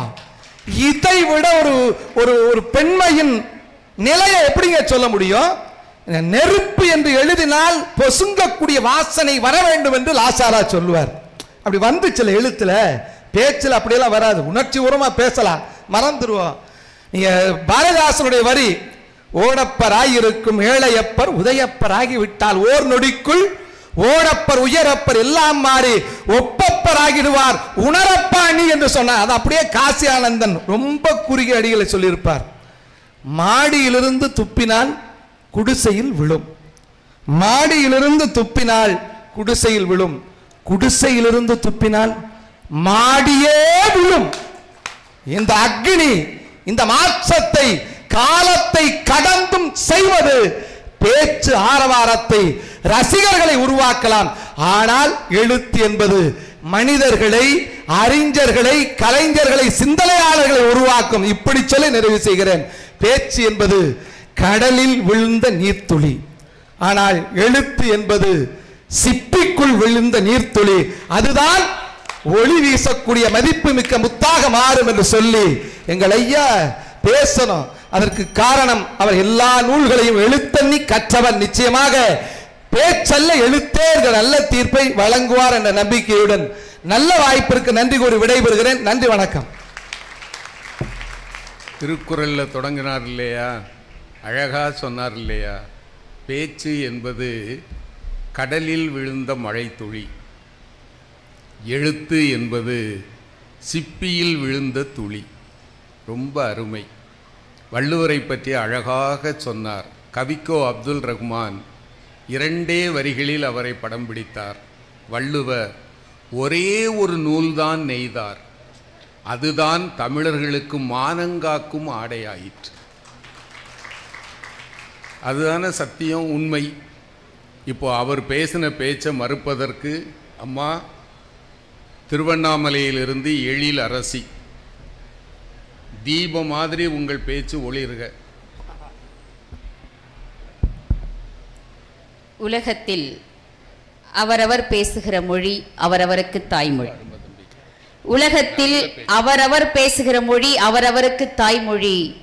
உலக மொழிகளுக்கெல்லாம் தாயாக தகுதி படைத்த ஒரே மொழி அது நம் தமிழ் மொழி என்கிற காரணத்தினால். தாயாம் தமிழை வணங்கி மகிழ்ந்து தன் நா வன்மையால் பேச்சுலக பல்கலைக்கழகமாகவே திகழக்கூடிய எங்கள் பாராட்டுதலுக்கும் போற்றுதலுக்கும் உரிய நடுவர் பெருந்தகை அவர்களே சாப்பாடு முக்கியமா சங்கம் முக்கியமான்னு கேட்டா வாட்ஸ்அப்ல ஒரு குட்டி பையன் சொல்றான் சாப்பாடு தான் முக்கியம். பசிக்கும் இல்ல ஆத்துக்குள்ளே இறங்கி அரோகரா என்று சொன்னாலும் சோத்துக்குள்ளே இருக்கிறான் சொக்க ஊரு நம்ம ஊரு? தமிழ்நாட்டுக்கே சோறு போடுகிற மண் எது என்று கேட்டால் இந்த தஞ்சை மண் என்கிற காரணத்தினால் நெல் விளைகிற பூமியில் சொல் விளைவிப்பதற்காக வருகை தந்திருக்கக்கூடிய பேச்சாளர் பெருமக்களே. மிக அற்புதமாக எங்களுடைய அருமை அண்ணன் மகா சுந்தர் அண்ணன் பேசினார். அவருக்கு எப்போதுமே அது ஒரு பழக்கம். முழு பூசணிக்காவை சோத்துல தான் மறை மறைப்பார். அது தஞ்சாவூர்ல வந்தே மறைச்சிருக்கிறார் பாருங்க. சோறு கொடுக்குற மண்ணிலே வந்து. ஆஹா எங்களுடைய எழுத்தை அதுதான் வந்து. அவர் சொன்னாரா? அண்ணாவை பற்றி அவர் ஒரு செய்தி சொன்னாரே. அது அண்ணாவே வந்து அவர் காதிலே சொன்னாரா? யார் எங்க அணி தலைவர் காதில்? சாக்ரட்டிஸை பற்றி பேசினாரே. சாக்ரட்டிஸை வந்து அவர் காதிலே சொன்னாரா? நடுவர் அவர்களே நான் உங்களிடத்திலே பணிவாக ஒரு கேள்வி கேட்கிறேன். ஒன்றே குலம் ஒருவனே தேவன் என்று நாம் சொல்லுகிறோமே இந்த வரிக்கு சொந்தக்காரர் யாரு? திருமூலர். திருமூலர். நான் சத்தியமிட்டு சொல்லுகிறேன் தமிழ்நாட்டில் ஒன்றே குலம் ஒருவனே தேவன்னு சொன்ன உடனே இந்த வாசகத்துக்கு பேரறிஞர் அண்ணாதான் சொந்தக்காரர் என்று சொல்லுவார்கள். ஏன்? திருமூலர் எழுதிட்டு போயிட்டார். ஆனால் அதை மக்களிடையே கொண்டு சென்ற மாமனிதர் பேரறிஞர் அண்ணா என்பதால் அவருடைய பெயர் அந்த வாசகத்தோடு நின்றது. இதுதான் எழுத்துக்கும் பேச்சுக்கும் இருக்கக்கூடிய வித்தியாசம். என் அன்பு அண்ணன் மகாசுந்தர் அண்ணன் ஏதோ நாங்கள் எல்லாம் வள்ளுவருக்கு எதிரி போலவும் நாங்கள் எல்லாம் வள்ளுவத்தை படிப்பது கூடாது எழுதி வச்சுட்டு செ- இல்லைங்க. நீங்கள் ஒரு திருக்குறளை இன்றைக்கு இந்த மேடையிலே சொல்லுகிறீர்கள் என்று சொன்னால் நீங்கள் படித்த காரணத்தினால் சொல்லுகிறீர்கள். நான் இல்லைன்னு சொல்லல. ஆனால் நீங்கள் சொல்லுகிற அந்த திருக்குறள் ஒரு திருக்குறள் உட்கார்ந்திருக்கிற ஓராயிரம் பேர் மனதிலும் போய் சேருகிறது என்று சொன்னால் இதுதான் பேச்சினுடைய வல்லமை. இதைத்தான் சாதிக்கிறது எங்கள் பேச்சு. வெறும் எடுத்து வைத்து என்ன செய்வது? எங்க பேசுறதுக்குன்னே பிறந்தவன் தமிழன் இல்லையா? பேசுறதுக்கே பிறந்தவன். ஜெயிக்க முடியுமா ஒரு ஆள் நம்ம கிட்ட சரி எங்க திருவண்ணாமலையில ஒரு ஆள் எனக்கு தெரிஞ்ச பையன்தான். தயிர் கடை போட்டான். ரெண்டு பானை பெருசு பெருசா நல்ல ஆள் உயர பானை. அதுல தயிரை ரொப்பிட்டு உட்காந்தால எங்க ஊருக்கு வெள்ளையர்கள் வெளிநாட்டவர்கள் ரொம்ப அதிகமா வருவாங்க. ரமணாஸ்வரத்துக்கு சேஷாத்ரி மகாலுக்கெல்லாம். அந்த வெளிநாட்டுக்காருக்கு இந்த பானை வியாபாரம் போட்டிருக்கிற அந்த பந்தல்லாம் பார்த்தோன்னே ஆச்சரியமாக ஆச்சரியமா போயிடுச்சு. கிட்ட வந்து அந்த தைய தயிர் பானையை பார்த்து கேட்டாரு வாட் இஸ் திஸ் அப்படின்னாரு. நம்மால் பெருசாக படிக்கலைங்க. நான் நம்மால் ஜெயிக்க பேச்சில் ஒருத்தனாலும் முடியாது.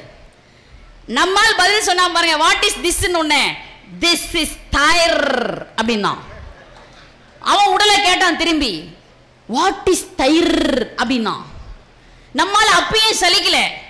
விளக்கம் சொன்னான் பாருங்க milk sleep at night milk sleep at night and morning became tight that is call their அப்படின்னா. ஓ திஸ் இஸ் யோகட் அப்படின்னா. எஸ் எஸ் எஸ் சார் வியாபாரம் பண்ணிட்டான் சார் வியாபாரம் நடந்துருச்சு.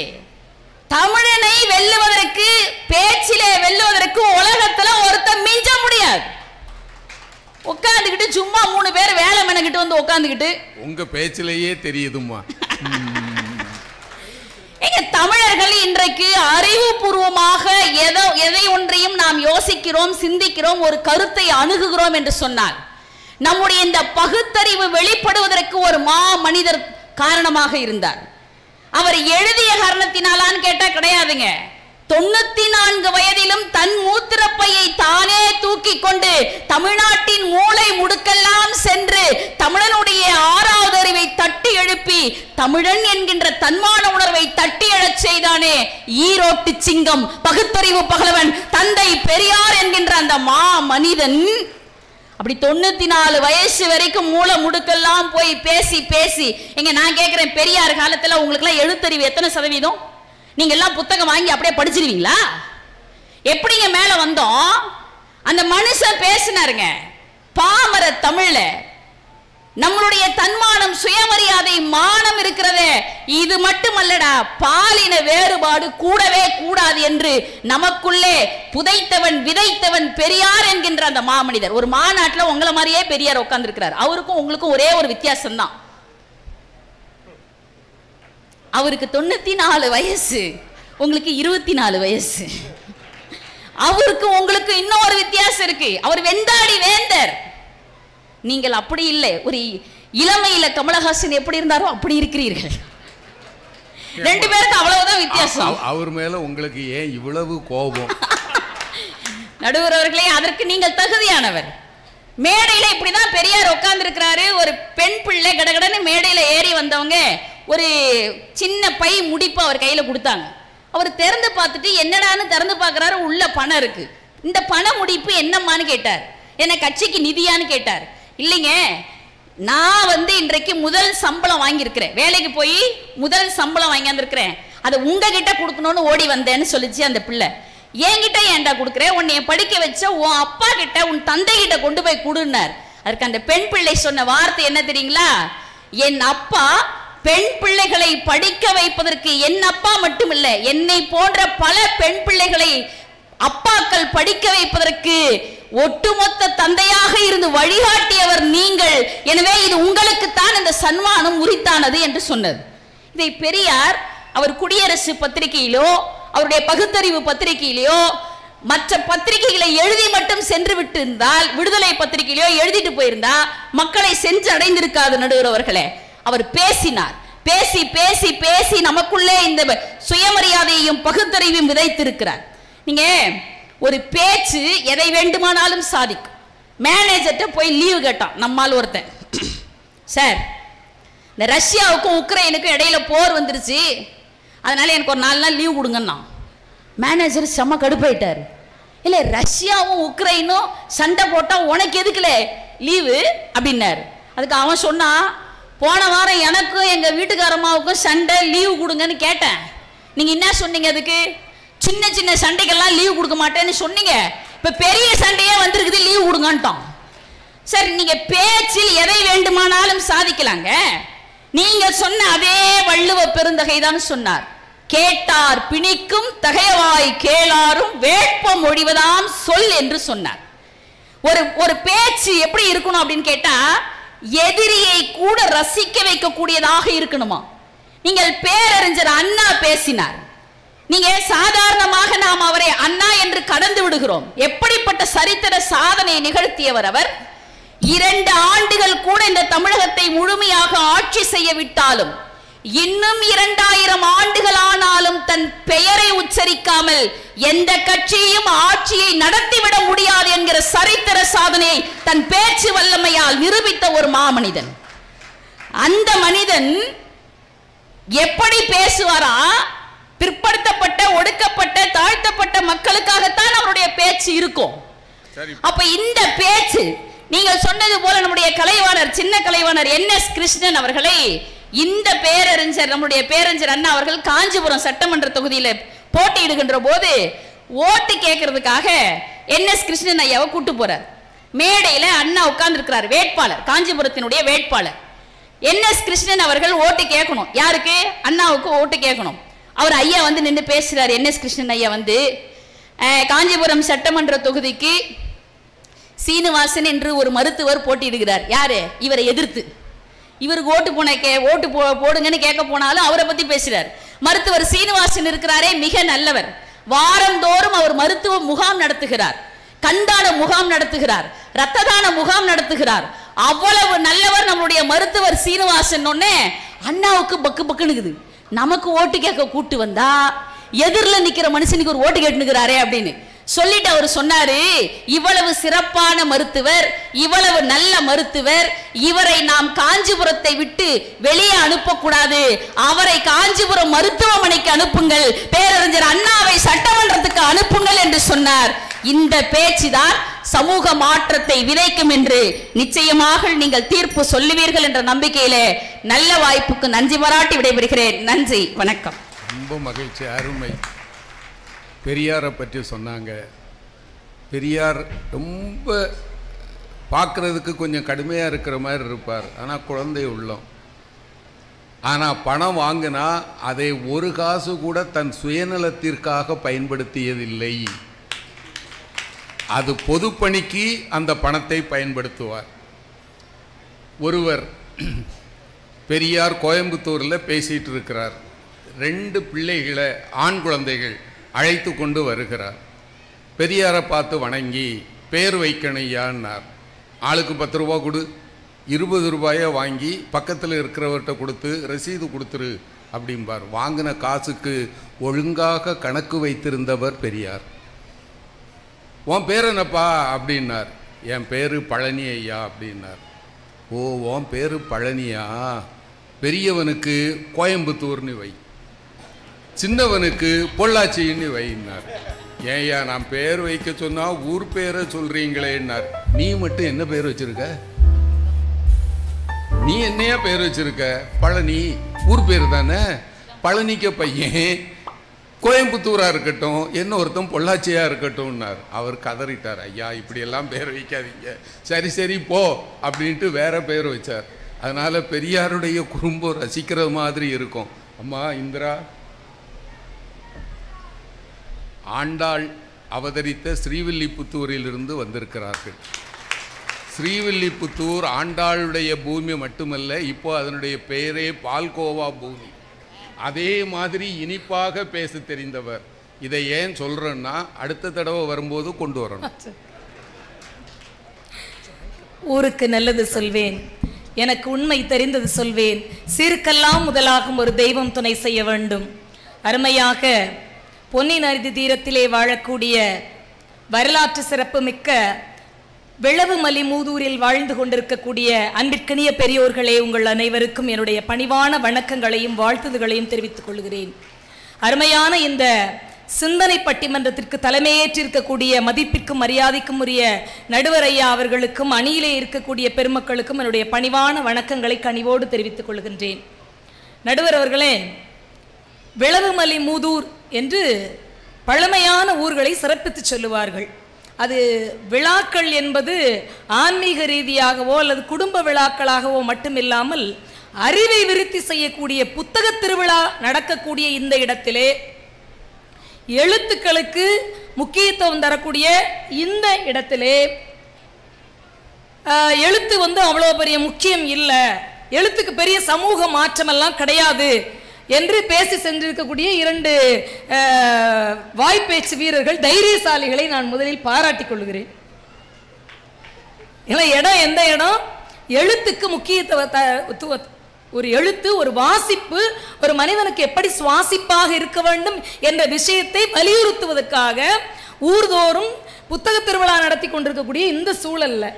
ஆனால் என்னுடைய கேள்வி என்ன அப்படின்னா முதல்ல வந்து பேசிய அணித்தலைவர் திரு சிதம்பரம் ஐயா அவர்கள் அவருக்கும் பெரியாருடைய சிந்தனை சார்ந்த யாரோ ஒரு அன்பு நண்பர் தான் பெயர் வைத்திருப்பார். சிதம்பரம் என்று.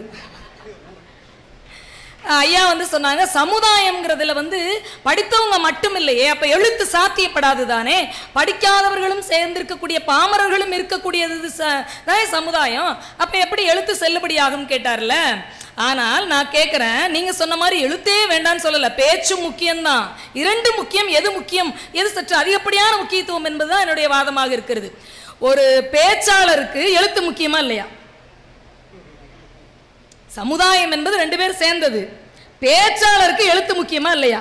உங்கள் பேச்சுக்கு அடிநாதமாக இருக்க வேண்டியது எழுத்தா இல்லையா என்பது எதிரணியிலே அடுத்து வரக்கூடிய கருணாநிதி அவர்களுக்கு என்னுடைய கேள்வியாக இருக்கு பேச்சை பற்றி கருணாநிதி தான் ஐயா சொல்லணும்? நான் கிட்டத்தட்ட நாலாயிரம் கடித கடிதங்களுக்கு மேலே மணிக்கட்டிலே மூளையும் விரல் விரல் நகங்களிலேயே கண்களையும் வைத்துக்கொண்டு தம்பிமாருக்கு கடிதம் எழுதியவருடைய பெயரை தாங்கி இருக்கிறார் அவர் சொல்ல வேண்டும் பேச்சாளருக்கு எழுத்து பரிச்சயமாக இருக்க வேண்டுமா இல்லையா? என்பது என்னுடைய கேள்வி. அப்புறம் அங்கேருந்து வந்து நிறைய விஷயங்களை சொன்னீங்க. சோத்துக்களை வச்சு இல்லைங்க நம்ம கைகளிலே இருக்கக்கூடிய பழமையான எழுத்து எது தெரியுமா? தமிழ் நூல்களிலே மிக பழமையானது தொல்காப்பியம். அது ஒரு இலக்கண நூல். ஆனால் இலக்கியத்தையும் சேர்த்து பேசக்கூடிய உல உலகத்திலேயே இலக்கியத்தையும் சேர்த்து பேசக்கூடிய ஒரே இலக்கண நூல் தொல்காப்பியம் மட்டும்தான். தொல்காப்பியர் பேசி யாராவது கேட்டிருந்தால் தயவு செய்து அதையும் பதிவு பதிவு செய்து விடுங்கள் எதிரணியிலிருந்து வந்து. தொல்காப்பியம் என்பது அம்மா எழுத்து சொல்லு மட்டுமில்ல. யார் பெயரை சொன்னீர்களோ அந்த வணக்கத்துக்குரியவர் தான் தொல்காப்பிய பூங்காவையும் எழுதியிருக்கிறார். தொல்காப்பியத்திலே பொருளதிகாரம் இருக்கிறது. எப்படி பிழை இல்லாம எழுதணும் எப்படி சொல் இருக்கணும் எழுத்து இலக்கணம் சொல்லிலக்கணம் தான் எல்லா மொழிகளிலும் இருக்கிறது. ஆனால் வாழும் வாழ்க்கைக்கும் இலக்கணம் எழுதிய ஒரே இனம் தமிழினமாக மட்டும்தான் இருக்க வேண்டும். அது எழுத்து புரட்சியால் சாதித்த விஷயம் என்பதை நீங்கள் மறந்தே விடக்கூடாது. அதுக்கப்புறம் நிறைய விஷயங்களை வந்து இங்கே சொன்னீங்க. தங்கச்சி கூட நல்ல தங்கச்சி அக்காவான்னு தெரில சின்ன பிள்ளையா இருக்கேன் அக்கா தங்கச்சியாக வச்சுக்கிறேன் நான். உங்களுக்கு ஒரு பரந்த மனசு இல்ல அவங்க சந்தோஷம் வேற யாருமே தங்கையா பார்க்க மாட்டாங்க. எழுபது வயது ஆனாலும் கூட மற்றவர்களுக்கு இவர்கள் தங்கையாகத்தான் இருப்பார்கள். உங்களுக்கு நல்ல மனசு. எழில் அரசி. அதனால தங்கச்சியாவே இருந்துட்டு போகும் இருக்கட்டுமே. இல்லை அங்கிருந்து வந்து நிறைய விஷயம் சொன்னாங்க. நல்ல கூந்தல் நீளமா இருக்கவ என்ன செய்வாளாம்? விடுக்குன்னு அள்ளி முடிச்சுக்கிடுவாளாம். இந்த மாதிரி குரலும் ச பிரமாதமான சாரீரம் குரல் இருக்கிறதுனால ஆ ஓ தங்கச்சி குரல் நல்லா இருந்தா சத்தமா பேசுனா தயிர் வேணா விற்கலாம் சமூக மாற்றத்தை ஏற்படுத்த முடியாது. தயிர் அந்த இரு என்னங்க தமிழ்ல புள்ளி வச்ச எழுத்துக்கு ஒச்சுக்கு அரை மாத்திரை? நீங்க சொன்ன தயிர்ல பத்து மாத்திரை இருந்துச்சு தாயி. இருக்கட்டும் திருவண்ணாமலைக்கார சொன்னதை இங்க சொன்னது நீங்க தானே ஒரு ஒரு எழுத்து என்பது ஒரு ஒரு ஒரு எழுத்தாளருடைய எழுத்து என்பது அவர் உயிரோடு இருக்கும் போது இல்லைங்க இறந்த பிறகும் பேசும்.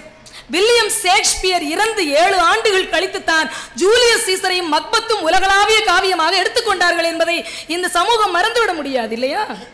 எத்தனை ஆண்டுகள் கழித்து மாவீரர் அலெக்சாண்டருக்கு பாரசீக மன்னன் தொடர்ந்து வெற்றிகளை குவித்துக் கொண்டிருக்கிறதுனால ஒரு தங்க பேழை விலை விலை மதிப்பை மிக்க வேலைப்பாடுடைய ஒரு தங்க பேழையை தருகிறார்.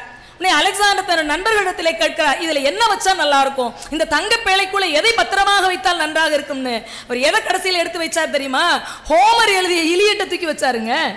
இலியட் ஒடிசி என்ற மிகப்பெரிய காவியங்களை தந்த ஹோமர் கண்மாற்று திறனாளி என்பதை நீங்கள் மறந்து விடாதீர்கள். மிகப்பெரிய காப்பியங்கள் அது ரெண்டையும் தூக்கி உள்ள வைக்கிறாரு. அந்த காலத்தில் மன்னர்கள் ஆட்சி செய்த காலத்தில் எது மிகப்பெரிய கௌரவமாக ப- பேசப்பட்டது தெரியுமா? நினைக்கப்பட்டது தெரியுமா? ஒரு போரிலே நான் தோற்றுவிட்டேன் என்று சொன்னால் வெண்ணி வெண்ணி பரந்தலை போருக்கு கரிகால் பெருவளத்தான் செல்கிறார் போரிலே ஒருவேளை நான் தோற்றுவிட்டேன் என்று சொன்னால் எனக்கு இது நடக்கட்டும் அது நடக்கட்டும் என்று தனக்குத்தானே அறம்பாடுவார்களா சொல்றாரு. புல புலவர்கள் எம்மை பாடாது ஒளிகன்னாரு எவனும் என்னை பற்றி எழுத வேண்டான்னார். அது பெரிய மரியாதை குறைவாக அன்றைய சமூகத்திலிருந்து இன்று வரை பார்த்து பார்க்கப்படுகிறது. வாழ்முனையை விட பேனாமுனைக்கு மிகப்பெரிய சக்தி என்று சொல்லுகிறார்கள். இப்ப நான் சொன்னேன் இல்லையா? எழுத்தாளர் புதைத்த பிறகும் தோண்டினால் மீண்டும் உயிர்த்து வந்து சமூக மாற்றத்துக்கு காரணமாக இருப்பார். கூடுற நாகரிகம் நம்மை பொறுத்தவரைக்கும் இரண்டாயிரம் ஆண்டுகளுக்கு முன்பு இருந்த சிந்து நாகரிகம் என்று தானே சொல்லிக்கிட்டு இருக்கோம். ஹரப்பாவையும் மொகஞ்சதாராவையும் தானே அடையாளம் காட்டி கொண்டிருந்தார்கள். ஆனால் இப்போது வைகை நதி தீரத்திலே தோண்ட தோண்ட கீழடியிலே தமிழன் காலடியை காட்டிக் கொண்டிருக்கிறது எது தெரியுமா? மூவாயிரம் ஆண்டுகளுக்கு முற்பட்டது என்று அகழ்வாராய்ச்சியாளர்கள் ஒப்புக்கொள்ளுகிறார்கள். அதில் நிறைய உதாரணங்கள் இருக்கு. அதில் முக்கியமான உதாரணமாக என் வாதத்திற்காக நான் எடுத்து வைத்துக் கொள்ளக்கூடிய சான்று மண் பாத்திரங்கள் முழுவதிலும் தமிழ் எழுத்துக்கள் இருக்கிறது என்பதை நீங்கள் மறந்து விடாதீர்கள். மூவாயிரம் ஆண்டுகளுக்கு முந்தைய தமிழனை தோண்டி பார்த்தாலும் இந்த எழுத்துதான் நம் நாகரிகத்தின் மிகப்பெரிய அடையாளமாக இருக்கு. அது மட்டுமில்ல ஆராய்ச்சியாளர்கள் சொல்லுகிறார்கள் வெறும் அகழ்வாராய்ச்சியாளர்கள் இல்ல. லிங்குஸ்டிக் ஆர்கியாலஜிஸ்ட் மொழியியல் அகழ்வாராய்ச்சியாளர்கள் சொல்லுகிறார்கள். மெசபடோமியா போன்ற நகரத்திலே அகழ்வாராய்ச்சி செய்கின்ற பொழுது அது ஒரு வித்தியாசமான முத்திரை எங்கே கிடைக்கிறது? என்ன முத்திரைனா அந்த கப்பலினுடைய மாலுமியினுடைய கைகளிலே ஒரு பறவை இருக்கிறது. அப்படி பிடிச்ச மாணிக்கு ஒரு பறவை. அது என்ன பறவை என்று பார்த்தால் அது காக்கை. காகம் எப்படி ஒரு முத்திரையிலே இருக்க முடியும்? மாலுமியினுடைய கையிலே இருப்பது போல இருக்கிறது என்று தேடி பார்த்தால் அந்த எழுத்து எங்கேருந்து பிறக்குதுன்னு பாருங்க. எப்படியெல்லாம் சுற்றி வருதுன்னு பாருங்க. சாதாரணமாக பேசும்போது சொல்லும்ல காகம் கரைந்தால் விருந்தினர் வருவாங்க. காக்கா கத்துனா விருந்தாடி வருவாங்க. உடனே எங்கள் வீட்டுக்காரர் சொல்லுவார் அம்மா கத்துனா உடனே போயிடுவாங்க சும்மா விளையாட்டுக்காக சொல்லுவாங்க. காகம் விருந்து என்ற சொல்லுக்கு நம்ம உறவினர்களும் நண்பர்களும் என்று பொருள் இல்லை நண்பர்களே. விருந்து என்ற சொல்லுக்கு தமிழிலே புதுமை என்று பொருள். புதியவர்கள் யாராவது வருவாங்கன்னு அர்த்தம்.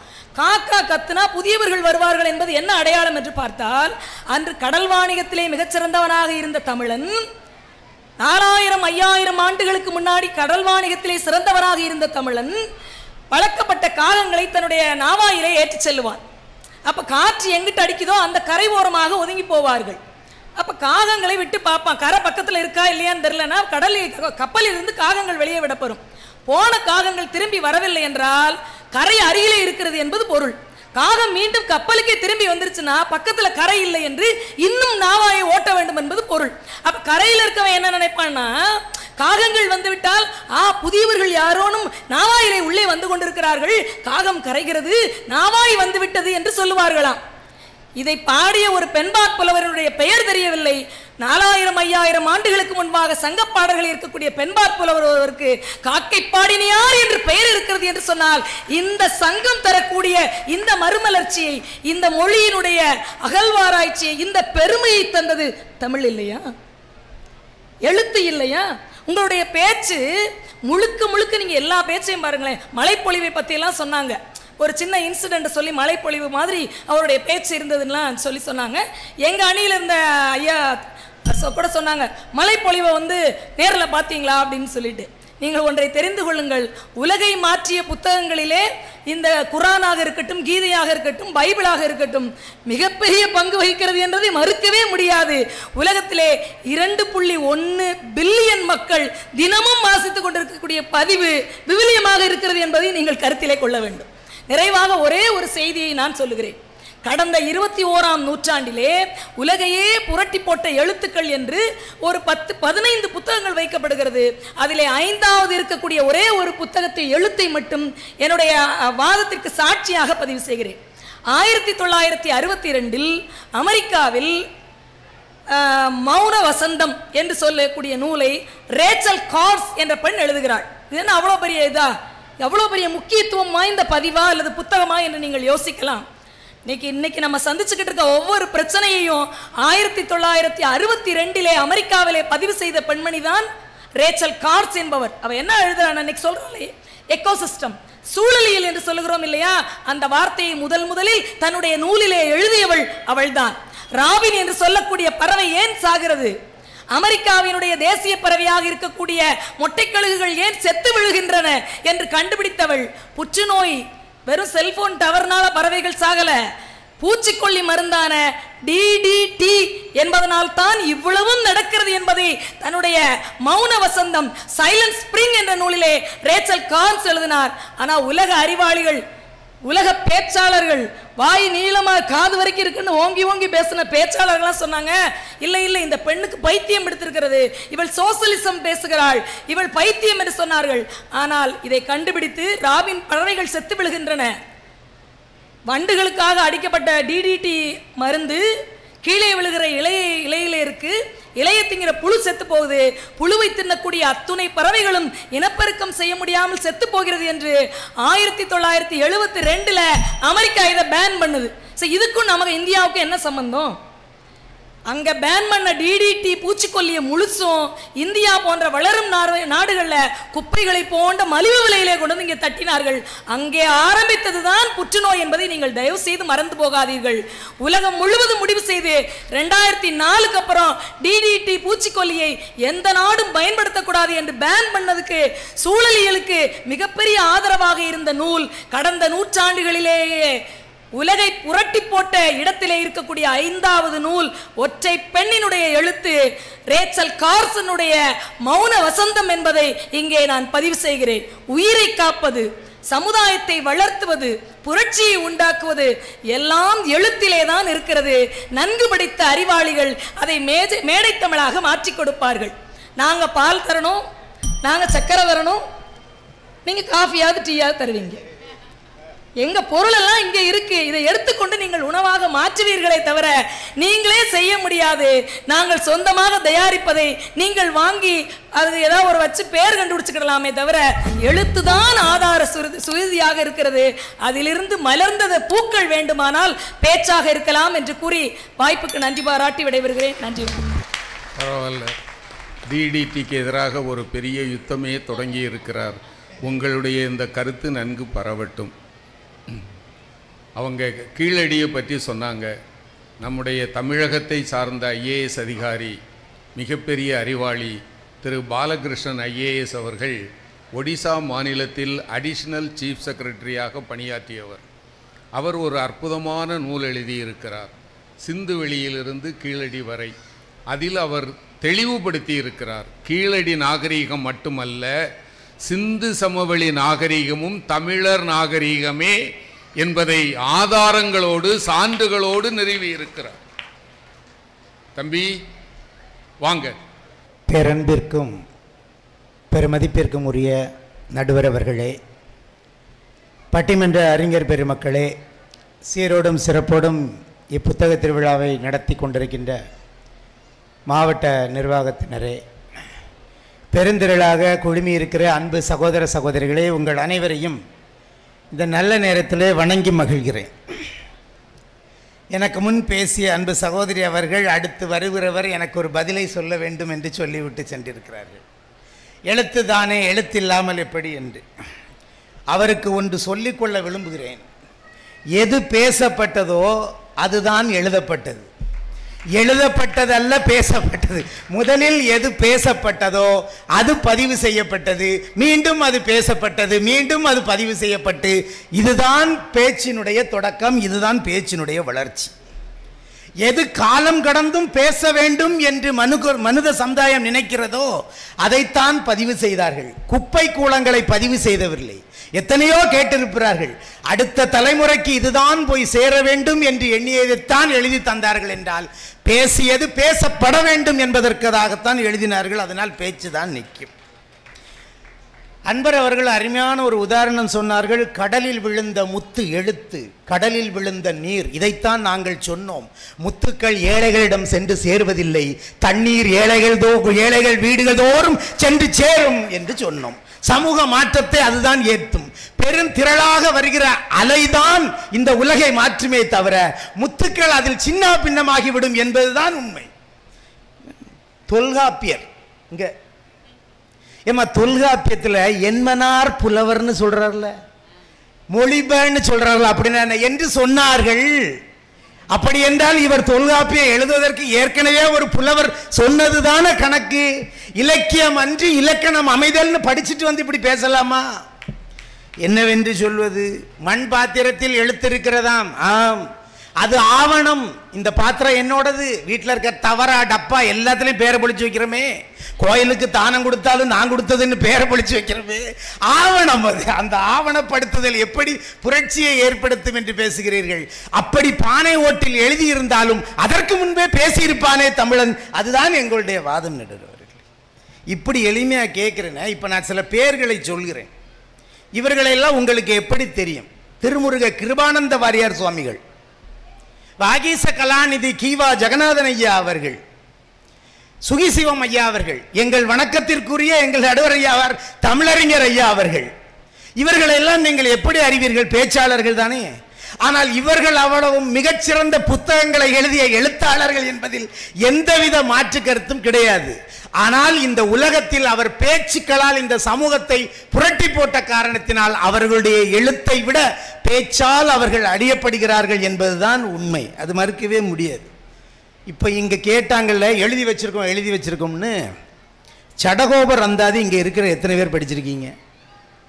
சடகோபர் அந்தாதி எழுதுனது கம்பர் தானே? எழுதுனதெல்லாம் படிக்க வேண்டும் என்று சொன்னால் கல்வியில் உயர் கம்பன் எழுதின கம்பராமாயணத்தை மட்டும் படிப்பது ஏன்? நாடும் ஊரும் கோயிலும் வீடுதோறும் கம்பன் பேசப்பட்டான் கம்பராமாயணம் படிக்கப்பட்டது. சடகோபர் அந்தாதி பேசப்படவில்லை சடகோபர் அம்பாதி பிற பதிப்புகளும் பெறவில்லை. மேடைகளிலும் ஏறவில்லை. எது பேசப்படுகிறதோ எது மக்கள் மன்றத்தை சென்று அடைய வேண்டும் என்கிறதோ அதுதான் பேச்சாக மாறும். கம்பராமாயணத்திற்கு எதிராக இந்த தமிழ் மண்ணில் ஒரு பெரும் போராட்டம் வந்தது. அதை அழிப்போம் எரிப்போம் என்றெல்லாம் வந்தது. அப்பொழுது தொடங்கிய மாபெரும் கலைதான். அந்த கம்பராமாயணத்தை நிலைநிறுத்த வேண்டும் என்பதற்காக காரைக்குடியிலே தவ திரு கம்பனடிப்பொடி ஐயா அவர்களால் தொடங்கப்பட்ட பேச்சு என்கிற போர்க்களம் தான் இந்த பட்டிமன்ற கலை என்று சொன்னால் எழுத்தை தூக்கி பிடிப்பதே பேச்சு என்பதை மறந்துவிடக்கூடாது. எங்க வந்து என்ன பேசிட்டு இருக்கீங்க? ஏங்க ஆயிரத்தி தொள்ளாயிரத்தி எண்பத்தி எட்டுல ஒரு ஏழு மணி பக்கத்தில் எல்லாரும் வானொலியை திருகி வச்சுட்டு இருந்தோம். எண்பத்தெட்டுல இருந்து கிட்டத்தட்ட ஒரு எழுபது வருடங்கள் பதினாலு வருடங்களுக்கு மேலே எழுபதுல பதினாலு வருடங்களுக்கு மேலே. அவர் பெரிய பேச்சாளர் கிடையாது. அஜானுபாகவான உடம்பு கிடையாது. ஒரு ஊரில் ஒருத்தர் இருந்தார். இப்படி என்று இந்த நாள் இனிய நாள் என்று தன்னுடைய மெல்லிய குரலால் ஏழு மணிக்கு எந்த வேலையை விட்டாலும் அது டீ கடையா இருக்கட்டும் வீட்டில் சமையல் செய்கிற வேலையா இருக்கட்டும் உங்கள் வேலையை பார்த்து கொண்டே உங்கள் அறிவை பெருக்கிறோம்னு ஒரு மாபெரும் புரட்சியை செய்தாரே தென்கட்சி சுவாமிநாதன் அவர்கள். பேச்சால் வென்றவர் இல்லையா? என்ன பேசுறீங்கம்மா நீங்க இங்க வந்து? ஆ? சும்மா வந்து ஏதாவது பேசிட்டு இருக்கக்கூடாது அவர் பதிவு செய்கிறார் இந்த பேச்சை இந்த இந்த இந்த நிகழ்ச்சியை நிறுத்திடலான்னு நினைச்சோம். அப்போ பார்வையற்றவர்கள் ஒரு பெரிய குழுவாக வந்து சொன்னார்கள் அவரை தொட்டு பார்த்துட்டு ஐயா தயவு செய்து இதை நிகழ்த்தி நிறுத்தி விடாதீர்கள். எங்களால் புத்தகங்களை வாசிக்க முடியாது. உங்கள் குரலால் நாங்கள் வாழ்கிறோம். உங்கள் குரல் எங்களுக்கு ஊக்கம் என்று சொன்னால் மாற்றுத்திறனாளிகளை மாற்று வழிக்கு கொண்டு சென்றது. ஒரு எளிய மனிதனுடைய பேச்சு என்று சொன்னால் நம்ம என்ன சொல்றது? எங்க அதியமானுக்கும் தொண்டைமானுக்கும் போர். Text message அனுப்பிச்சிருக்கலாம். இன்னைக்கு இருக்க காலம்னா பக்கம் பக்கமா கவிதை எழுதி அனுப்பிச்சிருக்கலாம் ஔவையார் நேரே நடந்து போனா தொண்டைமானுடைய அரண்மனைக்கு சென்றா உன் படைக்கட்டில பார்க்க வேணும்பான்னு பார்த்தா வேலு வாள் எல்லாம் நல்லா ஈட்டி எல்லாம் நல்ல நெய் பூசி மயில் பீலி அணிஞ்சு ஆயுத பூஜைக்கு நம்ம ஆயுதங்களை பளபளன்னு வச்சிருக்க மாதிரி அடுக்கி வச்சிருக்குது. அவ்வை லேசாக சிரிச்சிட்டு சொன்னா இதை எப்பா அற்புதமா வச்சுருக்கோம். படைக்கலங்கள் ரொம்ப அருமையா இருக்கு. ஆனா அதியமானுடைய படைக்கலங்கள் இருக்க எப்பொழுதும் நுனி உடைஞ்சி கூறு போய் கொல்லன் பட்டறையில் பட்டை தீட்டிக் கொண்டிருக்கிறது. தினம் தினம் அவன் போரை சந்தித்துக் கொள்ளிரு கொண்டிருக்கிறான் என்று சொல்லி ஒரு எளிய உரையாடலில் ஒரு எளிய பேச்சில் பெரும் போரை தடுத்தார் என்றால் இதுதான் அந்த பேச்சின் ஆற்றல். ஆனால் முதல் உலக போரிலே ஜப்பானுக்கும் அமெரிக்காவுக்கும் இடையே பேர்ல் ஹார்பல் என்கிற யுத்தம் நடந்ததற்கு ஒரு பெரிய காரணம். அவர்கள் அனுப்பிய ஒரு மே- ஒரு ஒரு குறியீடு ஒரு குறியீட்டு ஒலியை தவறான அர்த்தம் புரிந்து கொண்ட காரணத்தினால்தான் என்பதால் பேச்சே வெல்லும் என்பதற்கு எந்தவித மாற்று கருத்தும் கிடையாது நடுவர் அவர்களை. செக்கிழத்த செம்மல் வாவி சிதம்பரனார். அவருக்கு தண்டனை கொடுத்த ஒரு நீதிபதி எழுதுகிற ஜட்ஜ்மெண்ட்டுங்க ஒரு நீதிபதி எழுதுகிற ஜட்ஜ்மெண்ட் வாவு சிதம்பரம் பிள்ளையின் மேடை சொற்பொழிவையும் பாரதியாரின் பாட்டையும் கேட்டால் செத்த பிணம் கூட உயிர் பெற்றெழும் புரட்சி ஓங்கும் என்று தீர்ப்பளித்து கடுமையான தண்டனை வழங்கினார் என்று சொன்னால் அந்த மாவீரனுடைய பேச்சாற்றல் எத்தனை பெரிய சமூக மாற்றத்தை ஏற்படுத்தி இருக்க வேண்டும் என்பதை நாம் நினைத்து பார்க்க வேண்டும் நடுவர்களே. வாரியார் சுவாமிகள் ஒரு முறை சேலத்தில் தொடர் சொற்பொழி வாட்டிட்டு இருக்கிறார். அப்போ அன்பர்கள்லாம் சொல்கிறாங்க இன்னைக்கு இங்கே தமிழர் முன்னேற்ற கூட்டம்னு ஒரு கூட்டம் நடக்குது. அந்த கூட்டத்தில் ஐயா வந்து உரையாற்ற வேண்டும்ங்கிறாங்க. சரின்ட்டார். போனால் அந்த நிகழ்ச்சிக்கு தலைமை யாருன்னு கேட்டால் திராவிட கழகத்தினுடைய சித்தாந்தம் கொண்ட பாவேந்தர் பாரதிதாசன் அன்னைக்கு தலைவராக இருக்கிறார். இவரோ பட்டை உத்திராட்சமெல்லாம் போட்டு ஏறுறாரு. ஓஹோ இவர் என்ன புராணம் தான் பேசுவார் போல் இருக்குன்னு பாவேந்தர் அவர்கள் ஐயா உங்களுக்கு அரை மணி நேரம் தான். அரை மணிக்கு மேலே நீங்கள் பேசக்கூடாது. அப்படின்னு சொல்லிடுறாரு. சரி அரை மணி நேரத்தில் பேசி முடிச்சிடுறேன்னு பேசுகிறாரு வாரியார் சுவாமிகள் பேச எடுத்துக்கொண்ட தலைப்பு செந்தமிழ். அதை செம் கூட்டல் தமிழ்னு பிரிக்கிறார். செம்முங்கிற பதத்துக்கு மட்டும் பொருள் சொல்கிறார் அரை மணி நேரம் முடிய போகுது. இருபத்தி எட்டாவது நிமிடத்தில் சொல்றார் எனக்கு கொடுத்த நேரம் முடிகின்ற காரணத்தினால் செந்தமிழில் செம்மோடு நிறுத்திக் கொள்ளுகிறேங்கிறார். பாரதிதாசன் எழுந்து வந்து அவர் அரை அரவணைத்து விட்டு சொல்லுகிறார் இல்லை இல்லை தமிழுக்கும் நீங்கள் பொருள் சொல்ல வேண்டும். செந்தமிழை உங்கள் வாயால் கேட்க வேண்டும் என்று சொன்னார் இவ்வளவு செகண்ட்ல மாற்று கருத்தாரையும் மாற்றுகிற தன்மை பேச்சுக்கு உண்டு. அதே நேரத்தில் பக்கம் பக்கமா புக்கை எழுதி அவருக்கு கொடுத்தா மாற்ற முடியுமா? அல்லது நான் எழுதிய புத்தகங்கள் இத்தனை இருக்கிறது பாரதிதாசன் அவர்களே இதை படித்துக்கொண்டு என்னை அறிந்து கொள்ளுன்னு சொல்ல முடியுமா? தன்னை ஏளனமாக பார்த்தவர் தலையில் ஓங்கி ஒரு கொட்டு வைக்கிற ஆற்றல் பேச்சுக்கு உண்டு. அதுதான் சமூகத்தை மாற்றும் என்பதை மறந்துவிடக் கூடாது ஆயிரத்தி தொள்ளாயிரத்தி அறுபத்தி மூன்று கருப்பின மக்களுக்காக ஒரு மாமனிதன் குரல் கொடுத்தான். மார்ட்டின் லூதர் கிங் ஜூனியர் என்பவர். எல்லோருக்கும் கனவு இருக்கிறது. அதை தான் அப்துல் கலாமும் சொன்னார் கனவு காணுங்கள். ஆனால் அந்த கனவு உங்களை தூங்கச் செய்வதாக இருக்கக்கூடாது. உங்கள் தூக்கத்தை கலைக்கிற கனவாக இருக்க வேண்டும் என்று. அப்படி ஒரு மனிதன் அந்த அமெரிக்க நாட்டிலே கனவு கண்டான். அதை எனக்கு ஒரு கனவு இருக்கிறது என்ற தலைப்பிலே உரையாற்றினார். அந்த உரையினுடைய பயன்தான் சமூக கிளர்ச்சியாக பல்லாண்டுகள் கழித்து ஒரு ஒரு கருப்பினத்தவரை அமெரிக்காவினுடைய தலைவராக்கியது என்று சொன்னால் இதுதான் சமூக மாற்றம் நடுவரவர்களே இப்படி சொல்லி கொஞ்சம் நிறைவு செய்கிறேன் காரத்தினுடைய அருமை கருதி சொல்கிறேன் படாங் திடல்னு ஒரு திடல் சிங்கப்பூரில் இருக்குது அதை தேசிய சின்னமாக அறிவிச்சிருக்காங்க. அங்கே அறிவிச்சா நமக்கு என்னையா பெருமை? அதில் அவர்கள் சொல்லியிருக்கிற ஒரு காரணம் நமக்கெல்லாம் பெருமை. இந்திய சுதந்திரத்திற்காக இந்தியாவுக்கு வெளியே இருந்து நேதாஜி வீர உழை வ- வழங்கிய இடம் அது. ஜான்சி என்கிற படப்பிரிவை தோற்றுவித்த திடல் அது. பாலசேவிகா என்கிற பால படையை உருவாக்கின இடம் அது. அந்த இடத்தில் தான் நேதாஜியினுடைய வீர உரைகள் இந்தியா இந்தியாவில் ஆண்ட ஆங்கிலேயரை அடையடையாக ஆட்டி வைத்தது என்று சொன்னால் என்னவென்று சொல்வது பேச்சின் பெருமையை. எல்லாரும் கலைஞரை பற்றி பேசினதுனால கலைஞருடைய நூற்றாண்டு விழா இருக்கிறதுனால சட்டசபையில் ஒரு பேச்சு பே பேசுகிறாங்க ஒரு எதிர்க்கட்சியில் சார்ந்த ஒருத்தர் ஒரு ஒரு எம்எல்ஏ எந்திரிச்சு சொல்கிறாரு அப்போ சென்னை கூவம் உங்களுக்கு தெரியும் எவ்வளோ மோசமாக இருக்கும்னு. கூவத்தில் முதல்ல வந்துட்டுன்னு யாரோ பொருளையை கிளப்பிட்டாங்க. அதனால கூவம் பக்கமே யாரும் போகிறது கிடையாது குப்பை போடுறது கிடையாது கூவம் தெளிவாயிற்று. எம்எல்ஏ சொல்கிறாரு கூவத்தில் முதலே இருக்கிறது என்கிற ஒரு காரணத்தினால் இப்பொழுது யாரும் மக்கள் பொதுமக்கள் போகல கூவம் ரொம்ப சுத்தமாக இருக்குது அதனால் முதலமைச்சர் அவர்கள் நிறைய முதலைகளை கொண்டு கூவத்தில் இட வேண்டும்னு கேட்குறாரு உடனே முதல்வராக இருக்கிற கலைஞர் எந்திரிச்சு சொல்கிறார் ஏற்கனவே அதில் ஒரு கோடி முதலை நாங்கள் போட்டியிருக்கிறோம் இனியும் போடுவதற்கு அங்கே முதலை இல்லை என்று சொன்னார் என்று சொன்னால் இதுதான் பேச்சினுடைய மகத்துவம். இப்படி சொல்லி நிறைவு செய்கிறேன் நடுவர் அவர்களே. சந்தன கட்டை இருக்கிறதே உரைக்காமல் வாசம் தருமா? சந்தனக்கட்டை உயர்ந்ததுதான் மறுக்கவில்லை. உரைத்தால்தான் வாசனை வரும். எழுத்தும் அப்படித்தான். புத்தகத்தில் அடங்கி இருக்கிற சந்தனக்கட்டை மறுக்கவில்லை. ஒரு உரையாளன் தேவை. அவன் உரைத்தால் அது மனம் பெறும் பார் புகழ் பெறும் சமுதாய மாற்றம் வரும். அதனால்தான் தமிழிலே எல்லா மொழிக்கும் லாங்குவேஜ் பாஷான்னு சொல்லுவான். மொழி என்று சொன்னால் சொல் என்று அர்த்தம். தமிழ் மொழி என்று தமிழை சொல் என்று சொன்னான்.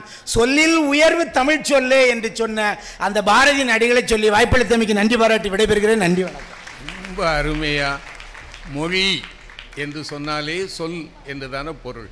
மொழிக மொழியுங்கள் என்றால் பேசுங்கள் என்றுதான் பொருள். ரொம்ப கூர்மையான அறிவுப்பா. அந்த பெயர் வைத்தாலே வந்துடும் போல இருக்கு.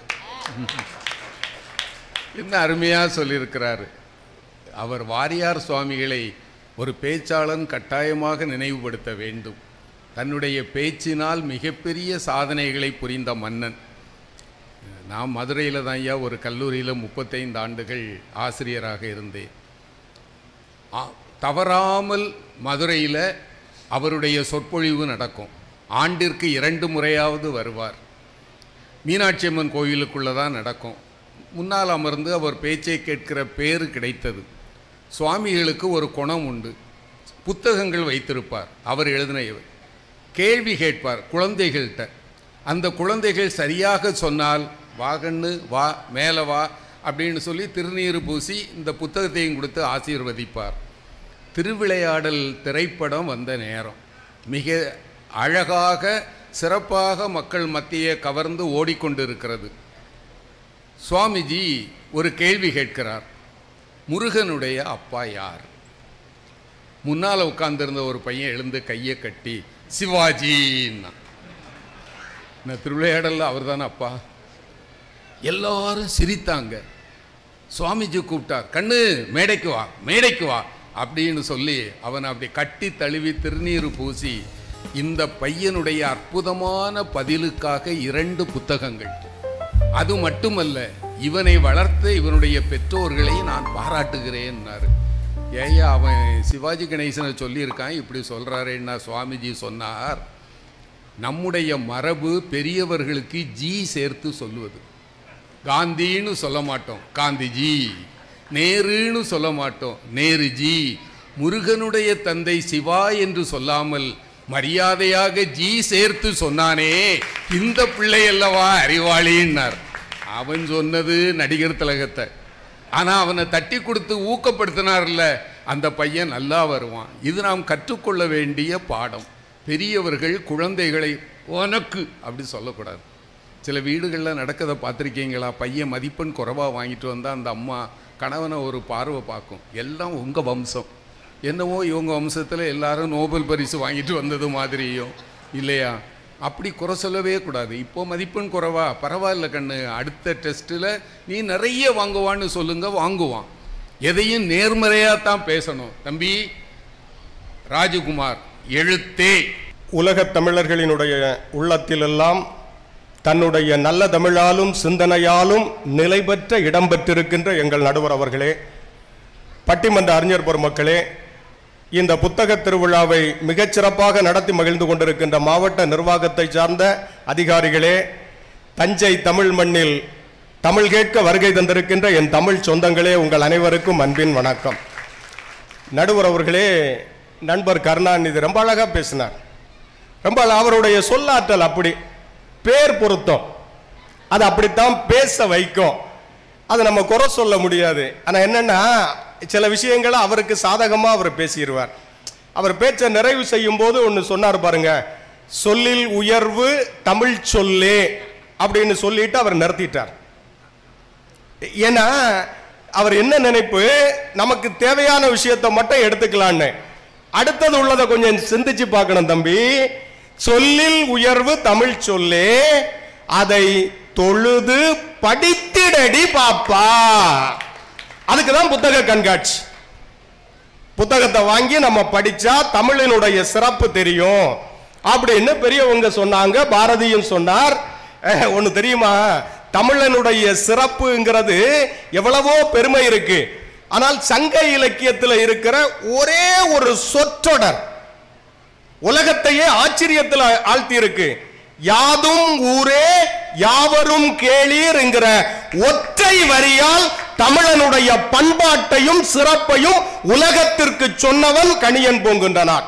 அந்த எழுத்து இருக்குல்ல மக்கள் எல்லாம் உலகத்தில் இருக்கிறவங்க எல்லாம் கேட்டு அதிசயப்படுறாங்க.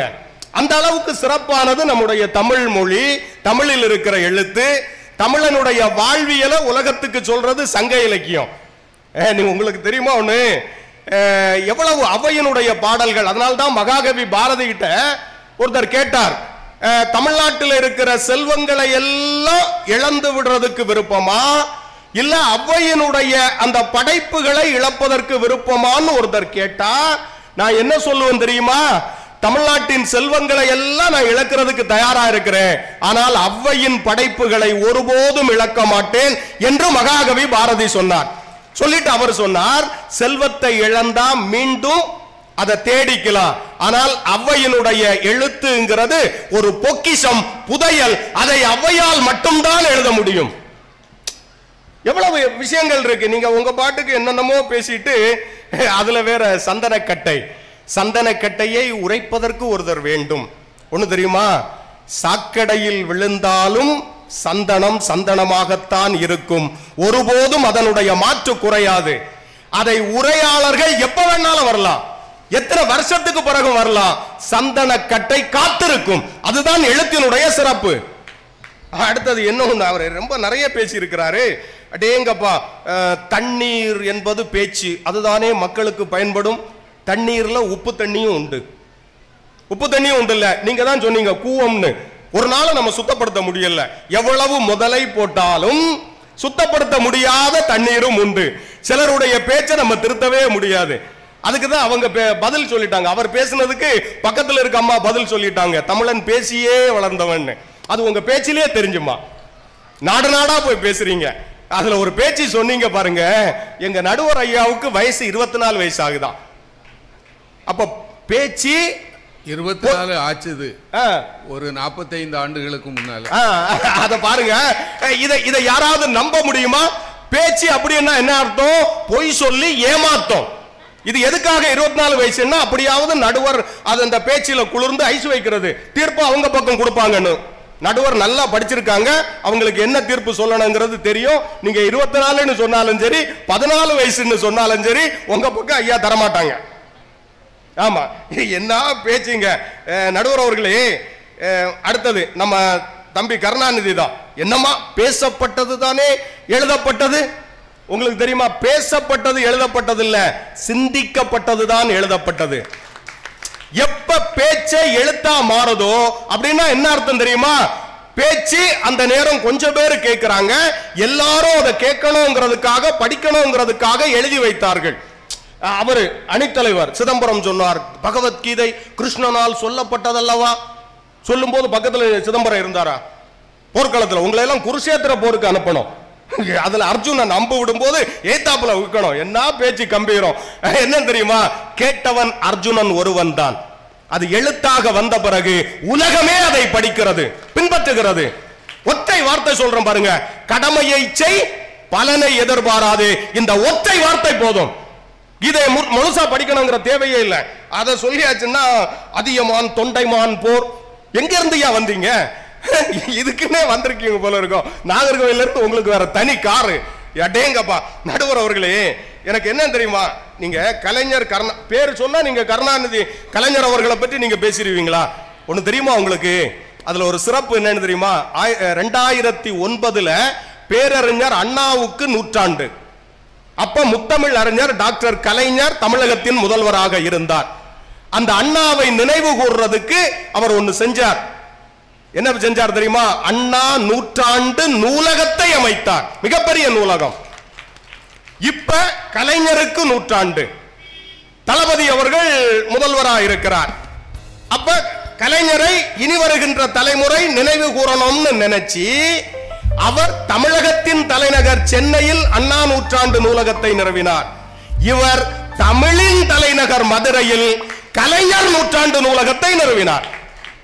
அப்ப இனி வருகிற தலைமுறை அவரை எழுத்தாளராகத்தான் அடையாளப்படுத்த வேண்டும். நீங்க கலைஞர் நூற்றாண்டு நூலகத்தை முத வாயில்ல போய் பார்த்தீங்கன்னா தெரியும். கலைஞர் அப்படியே உட்கார்ந்து இருப்பார் கையில ஒரு ஒரு பேடோ இதோ இருக்கு அதுல எழுதி கொண்டிருக்கின்ற வடிவத்தில் தான் அவரை அடையாளப்படுத்துகிறார்களே தவிர அவர் பேசிக்கிட்டு இருக்கிறது மாதிரி இல்ல. இது பேர் வச்சா போதாது. அவரை பற்றி உண்மையை தெரிஞ்சுக்கணும். என்ன ஒண்ணு சொல்றேன் தெரியுமா? கலைஞர் பேச்சாளராக அறிமுகமாவதற்கு முன்னாரே எழுத்தாளராக இந்த தமிழ் மண்ணில் அறிமுகப்படுத்தப்பட்டவர். இன்னொன்னு சொல்றேன். நீங்க கலைஞருடைய எழுத்து இருபத்தி நாலு வயசுல சினிமாவுக்கு வசனம் எழுதி இருக்கிறான் ராஜகுமாரி. அபிமன்யு மருதநாட்டு இளவரசி மந்திரி குமாரி மலைக்கள்ளன் இது எல்லாமே புரட்சி தலைவர் எம்ஜிஆருக்காக அவர் எழுதிய வசனங்கள். ஒரு உண்மையை சொல்றேன். புரட்சி தலைவர் எம்ஜிஆர் அவர்கள் சினிமா துறையில உச்சத்தை தொடுவதற்கு வெற்றி பெறுறதுக்கு போராடி கொண்டிருந்த போது கலைஞருடைய வசனம்தான் அவரை தமிழகத்தினுடைய மிகப்பெரிய புரட்சி நடிகராக உயர்த்தியது. அடுத்து இன்னொன்னு சொல்றேன் கேளுங்க. பராசக்திங்கிற ஒரே ஒரு படம் தானேங்க ஒரே ஒரு படம் தானே அந்த படத்துல சிறப்பு என்ன தெரியுமா? கதாநாயகனாக நடி நடித்த நடிகர் திலகம் சிவாஜி கணேசன் புதுமுகம். மக்களுக்கு அறிமுகம் இல்ல. நிறைய நடிகர்கள் புதுமுகம். ஆனால் கலைஞர் கருணாநிதியின் வசனம் என்பதற்காகத்தான் அந்த படத்துக்கு கூட்டம் வந்தது. அப்ப பாருங்க இரண்டு உச்ச நட்சத்திரங்களை தன் எழுத்தால் உயரத்துக்கு கொண்டு வந்தவர் மரியாதைக்குரிய டாக்டர் கலைஞர். அதை நன்றியோட நினைக்கணும். அது இப்போ எதுக்கு குனிஞ்சிருந்தா பத்தாது. அதை யோசிச்சிருக்கணும்ல. நடுவர் அவர்களே ந- நண்பர் சிதம்பரம் தொடங்கும் போது ஒரு விஷயத்த சொன்னார். அது திருக்குறள்.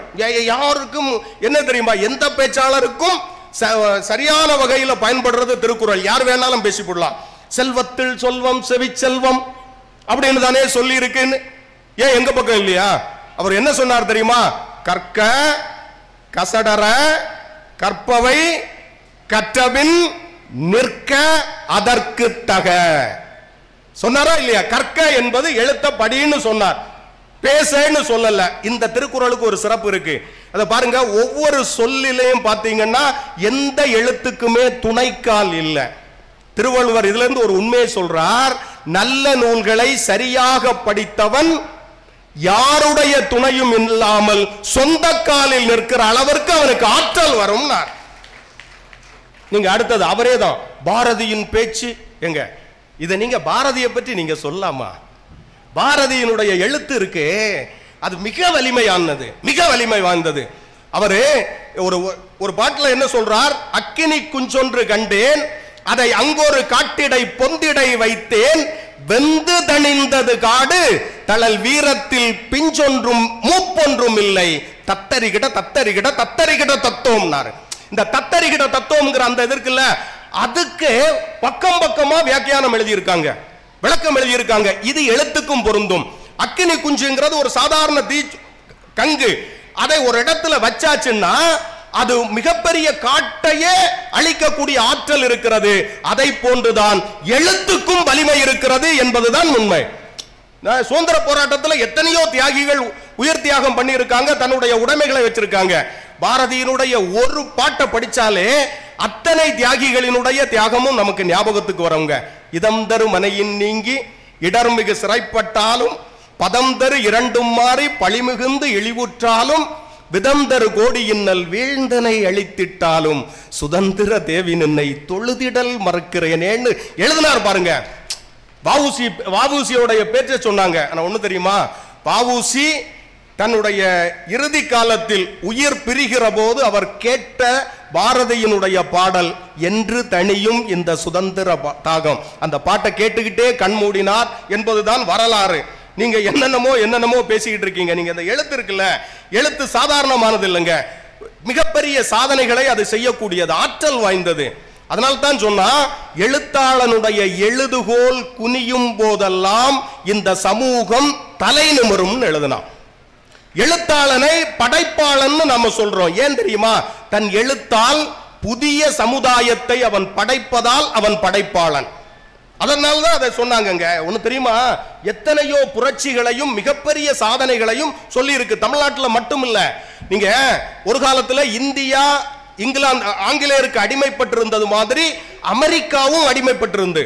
அமெரிக்காவும் ஆங்கிலேயர்களுக்கு அடிமைப்பட்டிருந்தது. அந்த நேரத்தில் தான் அந்த அமெரிக்காவில் வாழ்ந்த ஒரு எழுத்தாளர். அவருக்கு அவர் ஆங்கிலேயர். இங்கிலாந்தை சார்ந்தவர் அமெரிக்காவில் குடியேறிய ஆங்கிலேயர் ஒரு நூல் எழுதுகிறார் அந்த நூலோட பக்கம் மொத்த பக்கம் எவ்வளவு தெரியுமா? வெறும் 47 பக்கம். அந்த நூலுக்கு பேர் காமன் சென்ஸ்னு பேரு. காமன் சென்ஸ்னு பேரு. அந்த அதனுடைய அந்த 47 பக்கத்தினுடைய மொத்த சுருக்கம் என்ன தெரியுமா? அருமையா அவர் கேட்டார். ஒரு கண்டம் ஒரு நாட்டை ஆளலாம். ஒரு கண்டம் ஒரு நாட்டை ஆளலாம். ஆனால் ஒரு நாடு ஒரு கண்டத்தை ஆள முடியுமான்னு கேட்டார். எவ்வளவு யோசிச்சு பாருங்க அமெரிக்கா கண்டம் இங்கிலாந்து ஒரு சின்ன நாடு அதை அடிமைப்படுத்தி இருக்குன்னு அவர் கேட்ட கேள்வி அது லட்சக்கணக்கான ப- ப- பக்கங்கள் வித்து தீர்த்தது புத்தகங்கள் வித்து தீர்ந்தது. அப்பதான் அங்க இருந்த அமெரிக்காவில் இருந்தவங்களுக்கெல்லாம் ஒரு எழுச்சி வருது. ஆகா நமக்கு உணர்ச்சி வரணும்னு சொல்லி ஆங்கிலேயர்களுக்கு எதிராக சுதந்திர போராட்டத்தை பிரகடனம் பண்ணி போராடுகிறார்கள். அமெரிக்கா விடுதலை பெற்றது. அதற்கு காரணம் தாமஸ் பெயின் எழுதிய காமன் சென்ஸ் என்று சொல்லக்கூடிய புத்தகம். வெறும் 47 ஏழு பக்கம் தான் நீங்க பக்கம் பக்கமா பேச வேண்டிய தேவையே இல்லை. ஒன்னு தெரியுமா உங்களுக்கு? பேச்சு சில நேரங்கள்ல சில சிக்கல்களை உருவாக்கும். பேச்சு சில நேரங்கள்ல சில சிக்கல்களை உருவாக்கும்ங்க. மேடையிலேயே கொஞ்ச நேரத்துல வாழை மாத்தி விட்டுறோம்ல. என்னமா பேசி விட்டுறோம். அதாவது ஒண்ணு தெரியுமா? பேச்சுக்கு ஒரு எல்லை உண்டு. பேச்சுக்கு ஒரு எல்லை உண்டு. இப்போ நீங்கள் பேச்சாளர்கள் நாங்கள் ஐயா பத்து நிமிஷம் தந்திருக்காங்க. மொத்த பட்டிமன்றத்துக்கு ரெண்டரை இல்லை மூணு மணி நேரம் தான் இருக்கும். அவ்வளவுதான் பேச்சுக்கு எல்லை உண்டு. எழுத்துக்கு எல்லை கிடையாது.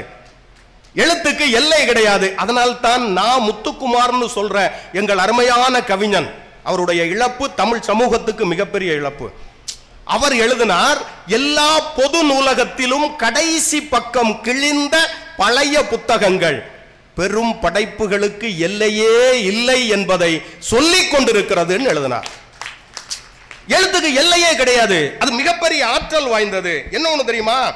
பேச்சு ஆரவாரம் செய்யும். கத்த சொல்லும். சில நேரங்கள்ல எதையாவது ஜோக் அடிக்கும்.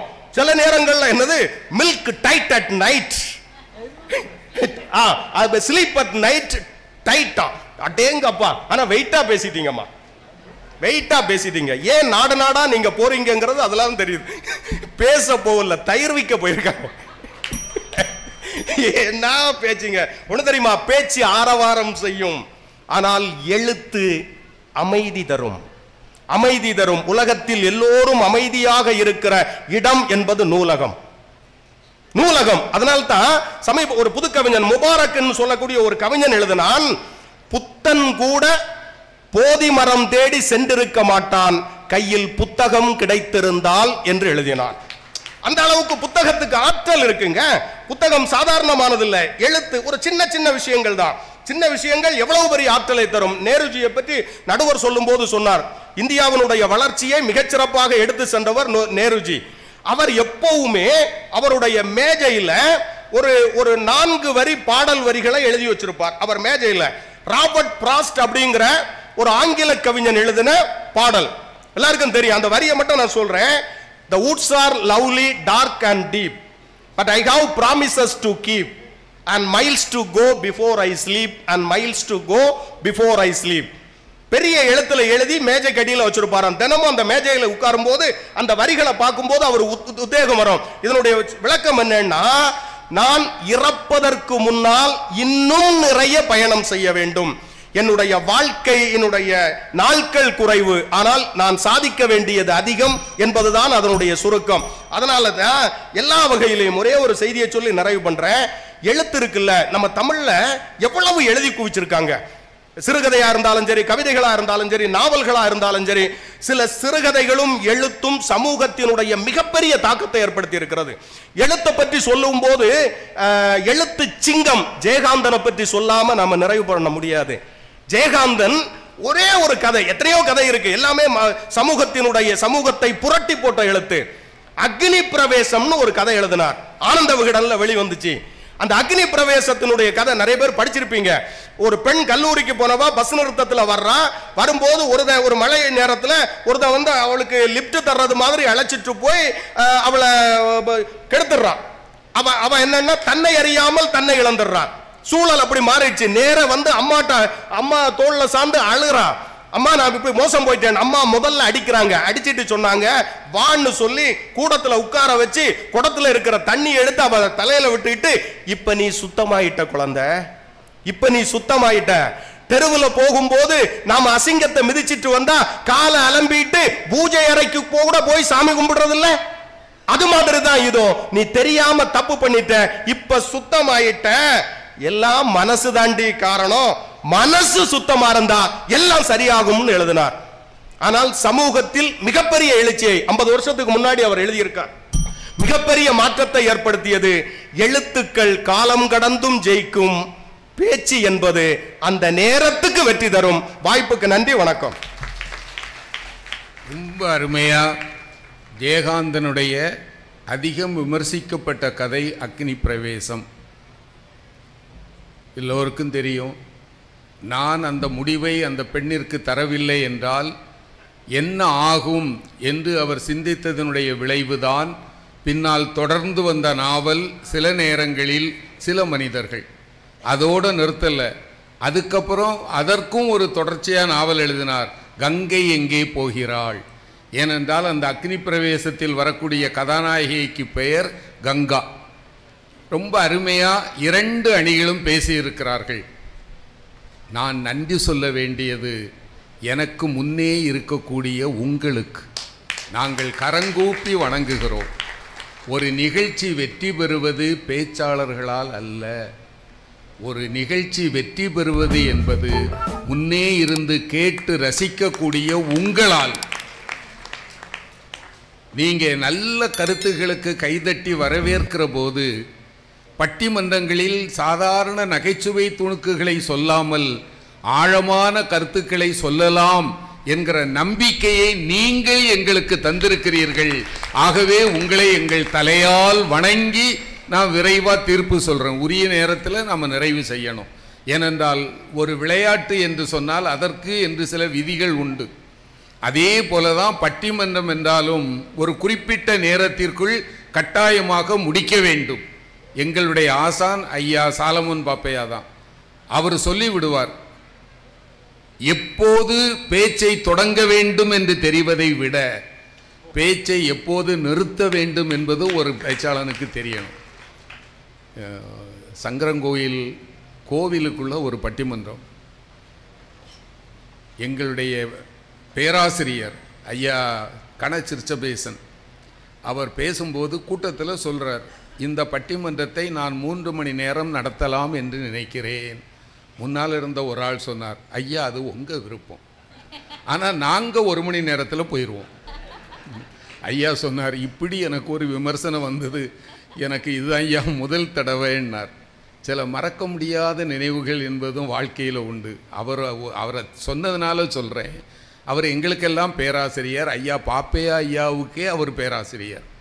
நகைச்சுவைங்கிறது அவரிடத்துல கேட்கணும். அவ்வளவு தரமாக வரும். ஒரு முறை தம்பி உங்களுக்கு தெரியும். நாங்கள் இவருடைய ஊர் திருப்பத்தூர். திருப்பத்தூரில் இருந்து புதுக்கோட்டைக்கு போகிறோம். வழியில் ஒரு ரயில்வே கேட் இருக்கு. அந்த இடம் என்னப்பா? ரமண சமுத்திரம். ஐயா அப்போவே கார் வைத்திருப்பார். அவர் ஃபியட் கார் வச்சுருக்கிறார். காரில் முன்னால் யார் உட்கார்ந்துருக்கிறாருன்னா காலஞ்சென்ற அமைச்சர் தமிழ் குடிமகன் ஐயாவும் சாலமன் பாப்பையா ஐயாவும். பின்னால் நானும் என்னுடைய இனிய சகோதரன் இன்று இல்லை தாக்கு சுப்பிரமணியனும் உட்கார்ந்துருக்கிறோம். நமன சமுத்திரம் ஐயா தான் கார் ஓட்டிட்டு வருவார். அவருக்கு சின்ன பிள்ளையிலேயே கார் ஓட்டி பழக்கம். நமன சமுத்திரத்தில் அந்த கேட்டு போட்டதுனால காரை நிறுத்தினார். ஒரு ஆள் வந்து அவர்கிட்ட கை நீட்டினார். பசிக்குதியான்னார் ஐயா ஒரு ஐந்து ரூபாயை எடுத்து கொடுத்தார். அன்றைக்கு ஐந்து ரூபாய் இருந்தால் ஒரு வேளை சாப்பிடலாம். கொடுத்தார். அவர் பின்னால் அந்த பக்கத்தில் தாக்கு இருக்கார். அவர்கிட்ட வந்து கை நீட்டினார். முதலாளி கொடுங்கோன்னார். ஐயா கூப்பிட்டார். இங்கே வாய்யா நான் தான் ஐந்து ரூபா கொடுத்துட்டேனே. அப்புறம் ஏன் பின்னால் போய் கேட்குறான்னார் அந்த ஆள் சொன்னார் பாருங்க யோ டிரைவரியா டிரைவரே அஞ்சு ரூபா கொடுத்துருக்குறான்னா முன்னால் உட்காந்துருக்கிற முதலாளி எவ்வளவு தருவார்? ஏன் அதை கெடுக்கிறான்னார். ஐயா சொன்னார் எனக்கு இதுவும் வேணும் இன்னமும் வேணும். உங்களை என் காரில் கூட்டிகிட்டு வந்து டிரைவ் பண்ணிட்டு வந்தால் எனக்கு டிரைவர்னு பேரான்னார். பாப்பையா ஐயா அருமையாக சமா சமாளித்தார். ஐயா அர்ஜுனனுக்கு தேரோட்டினது கிருஷ்ணன் தானே ஐயா. இல்லையா? நீங்கள் பார்த்த சாரதி நாங்கள்லாம் பார்த்தர்கள் தான் ஐயான்னார் அது ஒரு நினைவு. சரி இப்போ எழுத்து என்பதை ரொம்ப அருமையாக சொன்னாங்க. இல்லையா? எழுத்து சாதித்தது என்பது ஒன்றும் சாதாரணமானது அல்ல. இப்போ இவங்க நம்ம ரொம்ப முன்னால் போக வேண்டாம். தம்பி வந்து அருமையான தொடர தொடங்கினார். யாதும் ஊரே யாவரும் கேளீர். ரெண்டாயிரம் ஆண்டுகளுக்கு முன்பு தஞ்சாவூரும் வல்லமும் வேற வேற நாடு மாதிரி இருந்த காலம் ஐயா. அப்படித்தானே இருந்தது. அன்று நம் தமிழ் புலவர் பாடுகிறார். யாதும் ஊரே. அது நியூசிலாந்தில் இருந்தாலும் சரி அண்டார்டிகாவில் இருந்தாலும் சரி யாவரும் கேளீர். எல்லோரும் என்னுடைய உறவினர்கள் குறில்லி நெடில் லீ போடக்கூடாது. யாவரும் கேளீர். தீதும் நன்றும் பிறர் தரவாரா? நோதலும் தனிதலும் அவற்றோர் என்ன? சாதலும் புதுவதன்றே. இறப்பு ஒன்றும் புதுவதில்லைடா. உங்க தாத்தா இறந்தார் தாத்தாவுக்கு தாத்தா இறந்தார் நடக்கலையா? அதுதான்டா நாளை உனக்கும். சாதலும் புதுவதன்றே. வாழ்தல் இனிதன மகிழ்ந்தென்றும் இளமே. முனிவின் இன்னாதன என்றலும் இளமே. கல்பொருது இறங்கும் நீர்வழிப்படுவோம் புனைபோல் ஆறுயிர் முறைவழிப்படுவோம் என்பது காட்சியில் திறவோர் தெளிந்தனம். அடுத்த வரிதான் ஐயா முக்கியம். ஆதலின் பெரியோரை வியத்தலும் இளமே. பதவியில் பணத்தில் உயர்ந்தவர்கள் என்று வியந்து பார்க்க மாட்டேன். அடுத்த வரிதான் ஐயா தமிழனுடைய பண்பு. சிறியோரை இகழ்தல் அதனேனும் இளமே. பெரியவர்களை கூட நான் வியந்து பார்ப்பேன் ஐயா. ஆனால் சாதாரண மனிதர்களை ஏளனமாக பார்க்க மாட்டேன். சில இடங்களில் பார்த்துருக்கீங்களா? நான் யாரையும் சொல்லலை. போய் அப்படி நின்னா ஐயா இல்லையா? வன்முறை என்பது குத்துவதால் அல்ல. சுடுவதால் அல்ல பார்வையால் கூட வன்முறையை காட்ட முடியும். அதனால தான் மகாகவி கவிஞர் பாரதி என்ன பாடினார் தெரியுமா? மனிதர் நோக மனிதர் பார்க்கும் பார்வை இனி உண்டோ இல்லையா? ஒரு பார்வை ஆ? இந்த பார்வையிலேயே பல மனிதர்களை சுருங்கி போக செய்து விடலாம் ஐயா. இறைவன் நமக்கு விழிகளை தந்திருப்பது அன்பால பார்ப்பதற்கு தானே. அதை செய்யக்கூடாதா? சிறியோரை இகழ்தல் அதனினும் இளமே என்று சொல்லித் தந்த புலவன் நம்முடைய தமிழன் என்பதில் நாம் தலை நிமிர்ந்து நிற்கலாம் ஐயா. நம்ம தாத்தா வள்ளுவர் ஒரு பேரறிஞர் சொன்னார் ஐநூறு எல்லாமே மாறும். ஐநூறு ஆண்டுகள் ஒரு கருத்து நிலைத்து நிற்குமானால் அந்த கருத்தை தந்தவர் மிகப்பெரிய அறிஞர். இப்போ நேற்று மாதிரி நாம் இன்று இல்லை கருத்துக்கள் மாறுகின்றன. இந்த மாதிரி நாளை இல்லை. இல்லையம்மா? வள்ளுவர் ஒரு குரல் சொல்லியிருக்கிறார் பாருங்க. இதனை இதனால் இவன் முடிக்கும் என்று ஆய்ந்து அதனை அவன்கண் விடல். எதனை? எதனை? இந்த மூளை அறுவை சிகிச்சையை. இதனால் இவர் மிகச்சிறந்த மூளை சிகிச்சை நிபு அறுவை நிபுணர் என்பதால் அதனை அந்த அறுவையை அவரிடத்தில் விட்டுவிடுங்கள். இதனை இவர் மிகச்சிறந்த கட்டிட நிபுணர் என்ற காரணத்தினால் அதனை இந்த கட்டடம் கட்டுகிற பணியை அவனிடத்தில் விட்டுவிடுங்கள். இதனை என்று சொன்னாரே தவிர எதனை என்று சொல்லவே இல்லையே. இந்த குரல் எவ்வளவு காலம் நிற்கும்? மனிதன் வாழுகிற காலம் வரைக்கும் இந்த குரல் வாழும் என்றால் ஐநூறு ஆண்டு நிலைத்த கருத்தை தந்தவன் பேரறிஞர் என்றால் வள்ளுவரை என்னவென்றியா சொல்லுவது?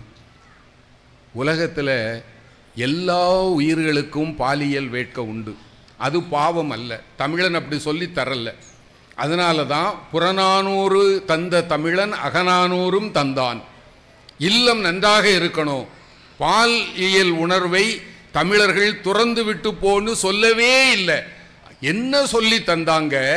அதில் ஒரு முறை இருக்க வேண்டும் ஒழுக்கம் இருக்க வேண்டும். அதனால தான் கம்பன் ஒருத்திக்கு ஒருவன் என்பதோடு நிற்கல ஒருவனுக்கு ஒருத்தி என்பதை ஆழமாக பதிவு செய்தான். வேணும். வள்ளுவர் சொன்னார் பாருங்க இதுக்கு நான் விளக்கம் சொல்ல போகிறதில்ல நீங்கள் வீட்டில் போய் பொருளை தேடுங்க கண்டு கேட்டு உண்டு உயிர்த்து உற்று அறியும் ஐம்புலனும் ஒந்தொடி கண்ணே உள. இல்லையா? இதுக்கு விளக்கம் அவரவர் அனுபவத்திற்கு தக. இதை விட பாலியல் இன்பத்தை வேறு எவராலும் சொல்ல முடியாது.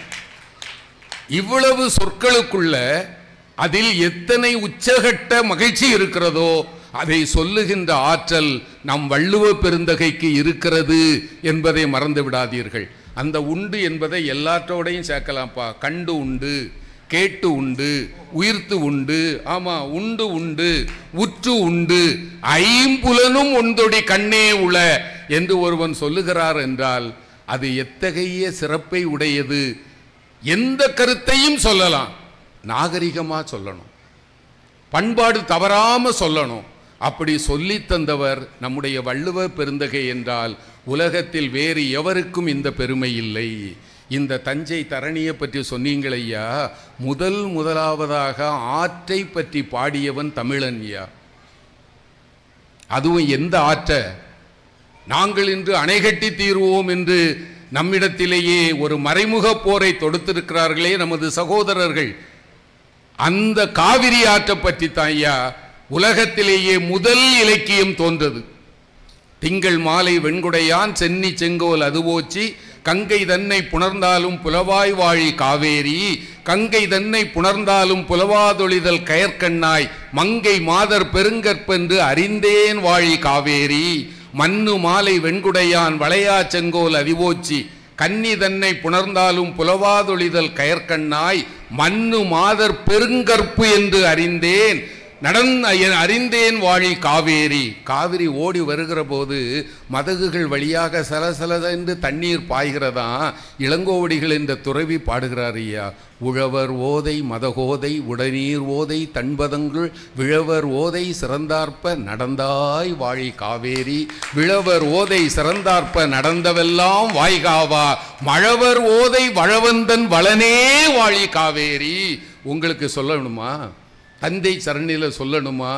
இளங்கோ சொல்லுகிறார் ஒரு மன்னன் ஆட்சி பீடத்தில் அது ராஜராஜனாக இருக்கலாம் அல்லது உலகத்திலேயே மிகப்பெரிய பேரரசனாகிய ராஜேந்திர சோழனாக இருக்கலாம். அவன் சிங்காதனத்தில் கையில் செங்கோல் ஏந்தி வீற்றிருக்கிறான் என்றால் யார் காரணம் தெரியுமா? இந்த காவிரி நீர் தன் காலை நனைக்குமாறு காலில் அந்த சேறு படிந்து கலப்பையை வைத்து வயலில் உழுது கொண்டு இருக்கிறானே அவன்தான் இந்த செங்கோலுக்கு ஆதாரம் என்பதை ரெண்டாயிரம் ஆண்டுகளுக்கு முன்பு யார் சொல்லுகிறார்? இளங்கோவடிகள். அந்த எழுத்து இன்றைக்கு நமக்குள்ள ஒரு சக்தியை தரலையே ஐயா. அதை படிக்கிற போதே நமக்கு ஒரு மகிழ்ச்சி வரலையா நீங்கள் ஆடி பதினெட்டில் பொங்கி வருகிற காவிரியை பார்க்கிற போது இந்த பாடலை சொல்லி பாருங்கள். இளங்கோ எப்படி சொல்லியிருக்கிறார் என்கிற போது நம்முடைய தலை எத்தனை கன்னடர்கள் என்ன சூழ்ச்சி செய்தாலும் அத்தனையும் உடைத்து கொண்டு காவிரி தமிழ்நாட்டை வளப்படுத்தியே தீருவாள். இல்லையா? நமக்கு அந்த ஆற்றல் உண்டு வலிமை உண்டு. நான் அரசியலுக்குள்ளே போகலை. யாரையும் யாரையும் தடுக்கக்கூடாது ஐயா. எல்லோரும் இன்புற்றிருக்க வாழ நினைக்கணும். எனக்கு மட்டுமே சொந்தம் என்பது அது எதுவாக இருந்தாலும் மிக குறுகிய ஒன்று. காற்று யாருக்கு சொந்தம்? நீர் அனைவருக்கும் சொந்தம். அவங்க எடுத்துக்கட்டும் வேண்டான்னு சொல்லலை. ஆனால் உனக்கு தரமாட்டேன் என்பது கொடுமை. அது நடக்காது. ஏனென்றால் இளங்கோவடிகள் சாதாரண கவிஞர் அல்ல. அவர் தெய்வீக கவிஞர். கவிஞனுடைய வாக்கு ஒரு நாளும் பொய்க்காது. காவிரி நடந்தே தீரும். நடந்தாய் வாழி காவேரி. நடக்கும். பின்னால் நான் இடையிலெல்லாம் ரொம்ப போகலை. ரொம்ப வேகமாக சொல்லிடணும். பாரதின்னு ஒரு கவிஞர் வந்தார். அவருடைய எழுத்து எப்படிங்கிறத தம்பி ரொம்ப அருமையாக சொன்னார். இந்த நாட்டினுடைய விடுதலை போருக்காக பாடியவன். ஒரு தமிழ் புலவனுடைய இதயம் எவ்வளவு விசாலமாக இருக்கிறதுன்னு பாருங்கள் தப்பாக எடுத்துக்கூடாது கோயிலுக்கு போய் வணங்குகிற போது தஞ்சை மக்கள் அத்தனை பேரும் நன்றாக இருக்க வேண்டும் என்று வணங்கியவர்கள் எத்தனை பேர்? உங்களை வாழ்த்துறேன் ஐயா. உங்கள் பரம்பரை நல்லா இருக்கும். நான் அப்படி கும்பிட்டது இல்லை ஐயா. என் குடும்பம் முடிஞ்சால் என் ஊர்க்காரங்க நல்லா இருக்கணும். கல்லூரியில் பணியாற்றுகிற போது என் மாணவர்கள் நல்லா வரணும். ஏன்னா அது சுயநலம். அவன் நல்லா வந்தால் நம்ம மரியாதையாக பார்ப்பான். அந்த சுயநலம். நான் ஒன்று சொல்கிறேன் ஐயா. இங்கே ஆசிரியர்கள் நிறைய பேர் இருக்கலாம். இருக்கீங்கல்ல? ஒன்று புரிஞ்சுக்குங்கப்பா. நம்மை விட நமது மாணவர்கள் புத்திசாலிகள். உண்மையா? ஐயா உண்மையா? என்னை விட என் மகன் புத்திசாலியாக இருந்தால் தான் அது உலகத்துக்கு பெருமை. இல்லையா? தம்மில் தம் மக்கள் அறிவுடைமை மாநிலத்து மண்ணுயிர்க்கெல்லாம் இனிது. எங்கள் கல்லூரியில் எம்ஏ தமிழ் தேர்வு. நான் தமிழ்துறை தலைவர். கேள்வித்தாளை கொடுத்துட்டு அப்படி சுற்றி வருகிறேன். ஒரு மாணவன் ஆஹாஹான்னு சிரித்தான். சுந்தரராஜன் எதுக்குடா சிரிக்கிறான்னா? நீங்கள் தானே ஐயா சொல்லியிருக்கீங்க. எப்போதெல்லாம் துன்பம் வருதோ அப்போதெல்லாம் சிரிக்கணும்னு சொல்லி தேர்வு எழுதுறதை விட துன்பம் உண்டான்னு. எழுதுறான்னு. எழுதலாம். உழைப்புக்கு மரியாதை இல்லைன்னா. என்னடா புதுசு புதுசாக கண்டுபிடிக்கிறேன்னு. ஆமையா மூணு மணி நேரம் மாங்கு மாங்குன்னு எழுதுறவன் நான். ஜாலியாக சுற்றிட்டு வர்றது நீங்கள் உங்களுக்கு ரெண்டு டீயும் வடையும். உழைக்கிறவனுக்கு கொடுத்தா எனக்கல்லவா கொடுக்கணும்னா. ஏய் எழுதுப்பான்னு. நீதி நியாயம் செத்து போச்சு. எப்படிடா கண்டுபிடிச்சான்னா கோவப்படாமல் பதில் சொல்லணும். கேளுப்பா. கோவப்பட மாட்டீங்கல்ல? நான் என்றைக்கிடா கோவப்பட்டேன்? கேளுன்னா. நியாயம்னு சொன்னால் உங்களுக்கும் எனக்கும் ஒன்று தானே? அப்படி இருந்தால் தான் நியாயம். கேட்டுக்குங்கப்பா. நம்ம ஐயா சொல்லிட்டாரு.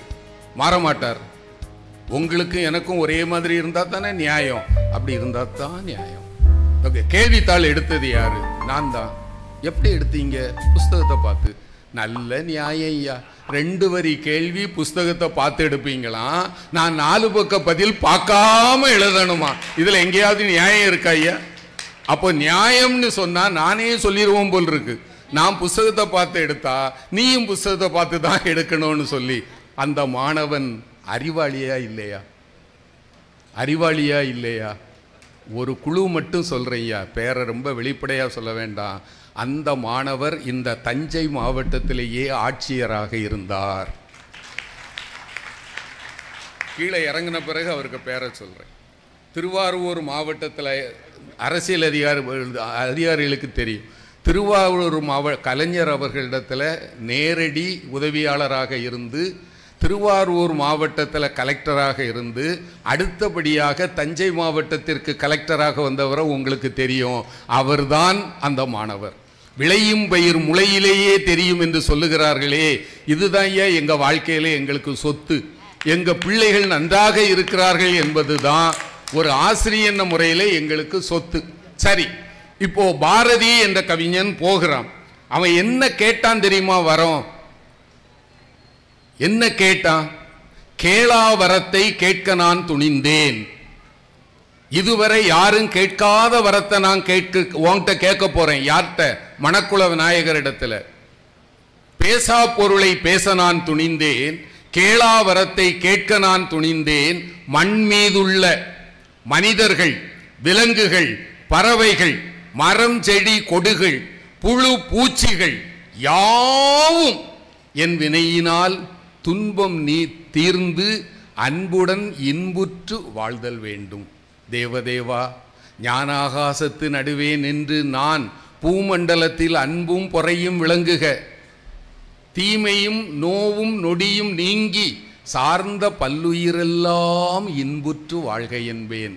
இதனை நீ திருச்செவி கொண்டு திருவுளம் இறங்கி அங்கனே ஆகுக என்பாய் ஐயனே. இந்நாள் இப்பொழுதே இவ்வரத்தை எனக்கு நீ நல்கிட வேண்டும். ஆதி மூலமே அனந்த சக்தி குமாரனே சத்திய பொருளே சரணம் சரணம் சரணம் இங்கு உனக்கே. யாரை விட்டான்யா இந்தியாவுக்காக கேட்டான் உலகில் இருக்கிற அத்தனை ஜீவராசிகளும் புழு பூச்சி புல் பூண்டு எல்லாம் மகிழ்ச்சியாக இருக்கணும். இதை நான் சொல்லுவேன். நீ என்ன செய்யணும் தெரியுமா? ஒன்றும் கஷ்டப்பட வேண்டாம். அப்படியே ஆகட்டும். இதை நீ சொல்லிட மாட்டியா? இந்த வரத்தை எனக்கு உடனே கொடு என்று கேட்ட ஒப்பற்ற கவிஞன் இந்த தமிழ் கவிஞன் என்பதில் நமது தலை நிமிர வேண்டாமா?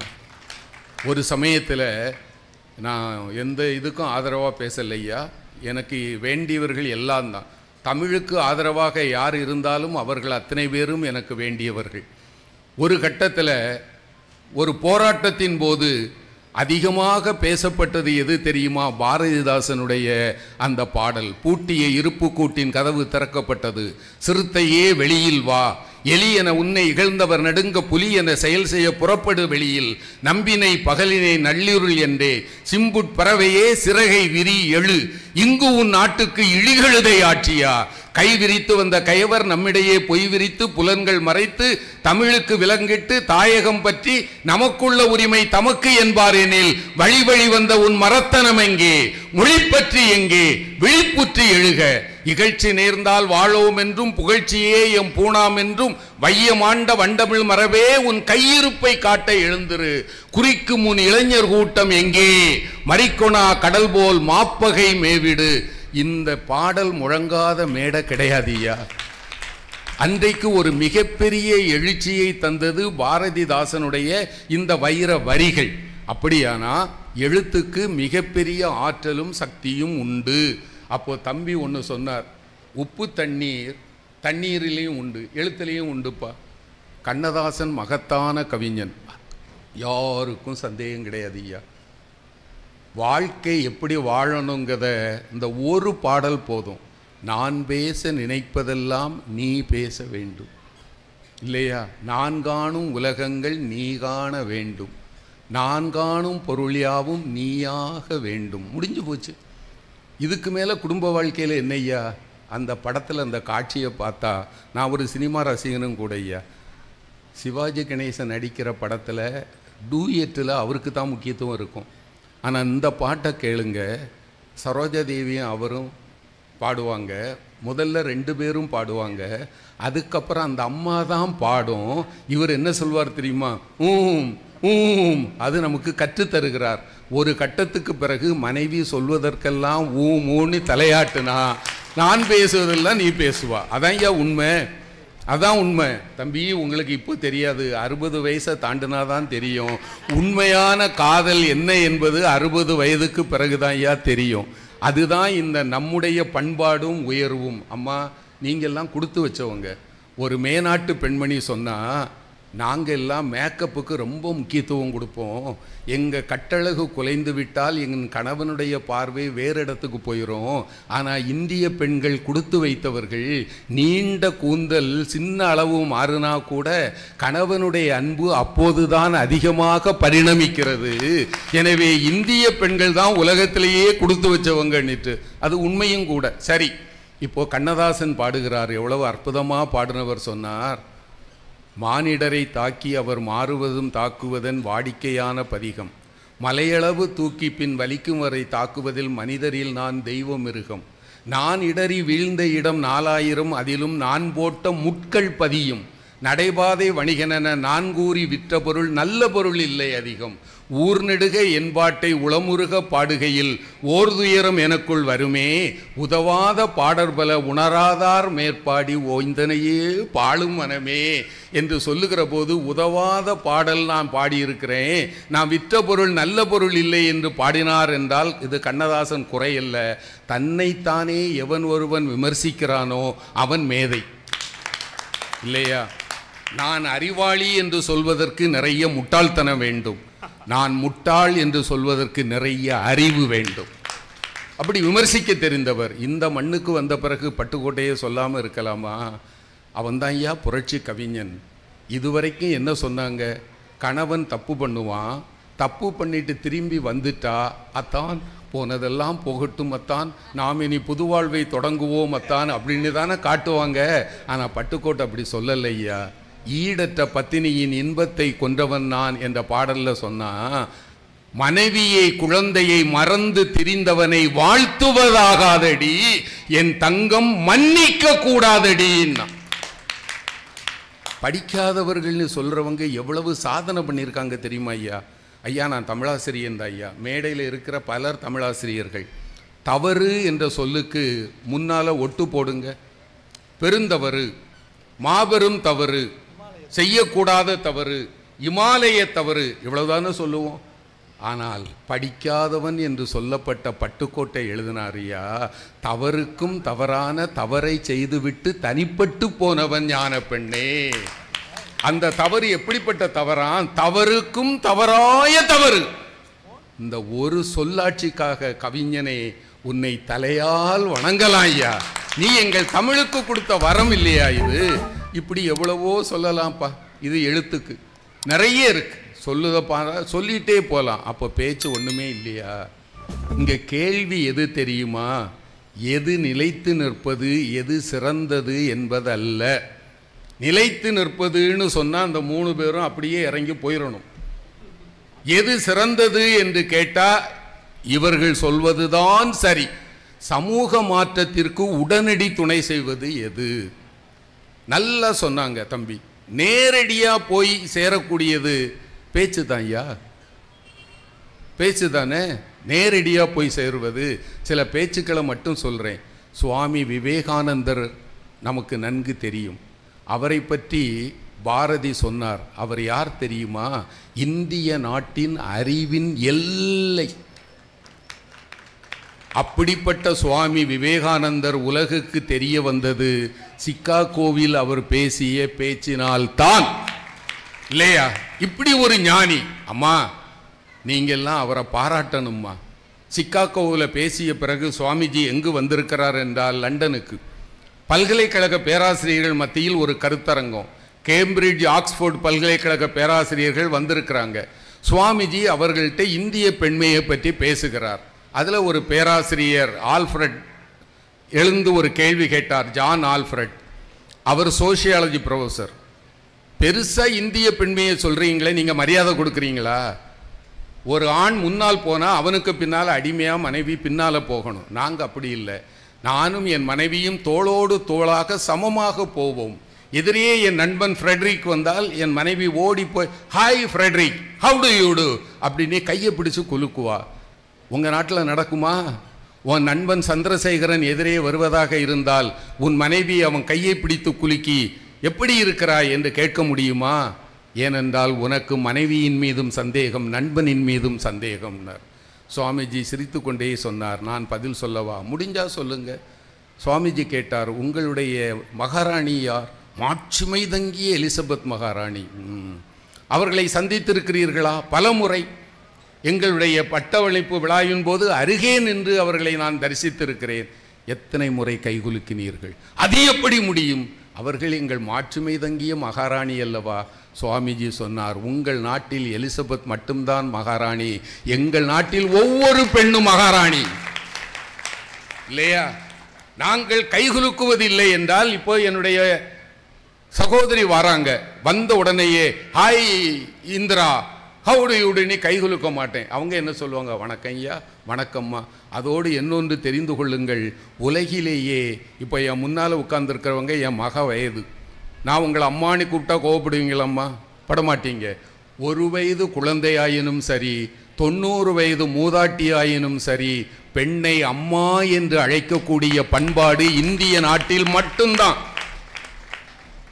நம்ம போய் அவங்க கேள்வி கேட்டால் விடுவாரா? அந்த சுவாமிஜியினுடைய பேச்சு ஒரு அதிர வைக்கிற பேச்சல்லவா?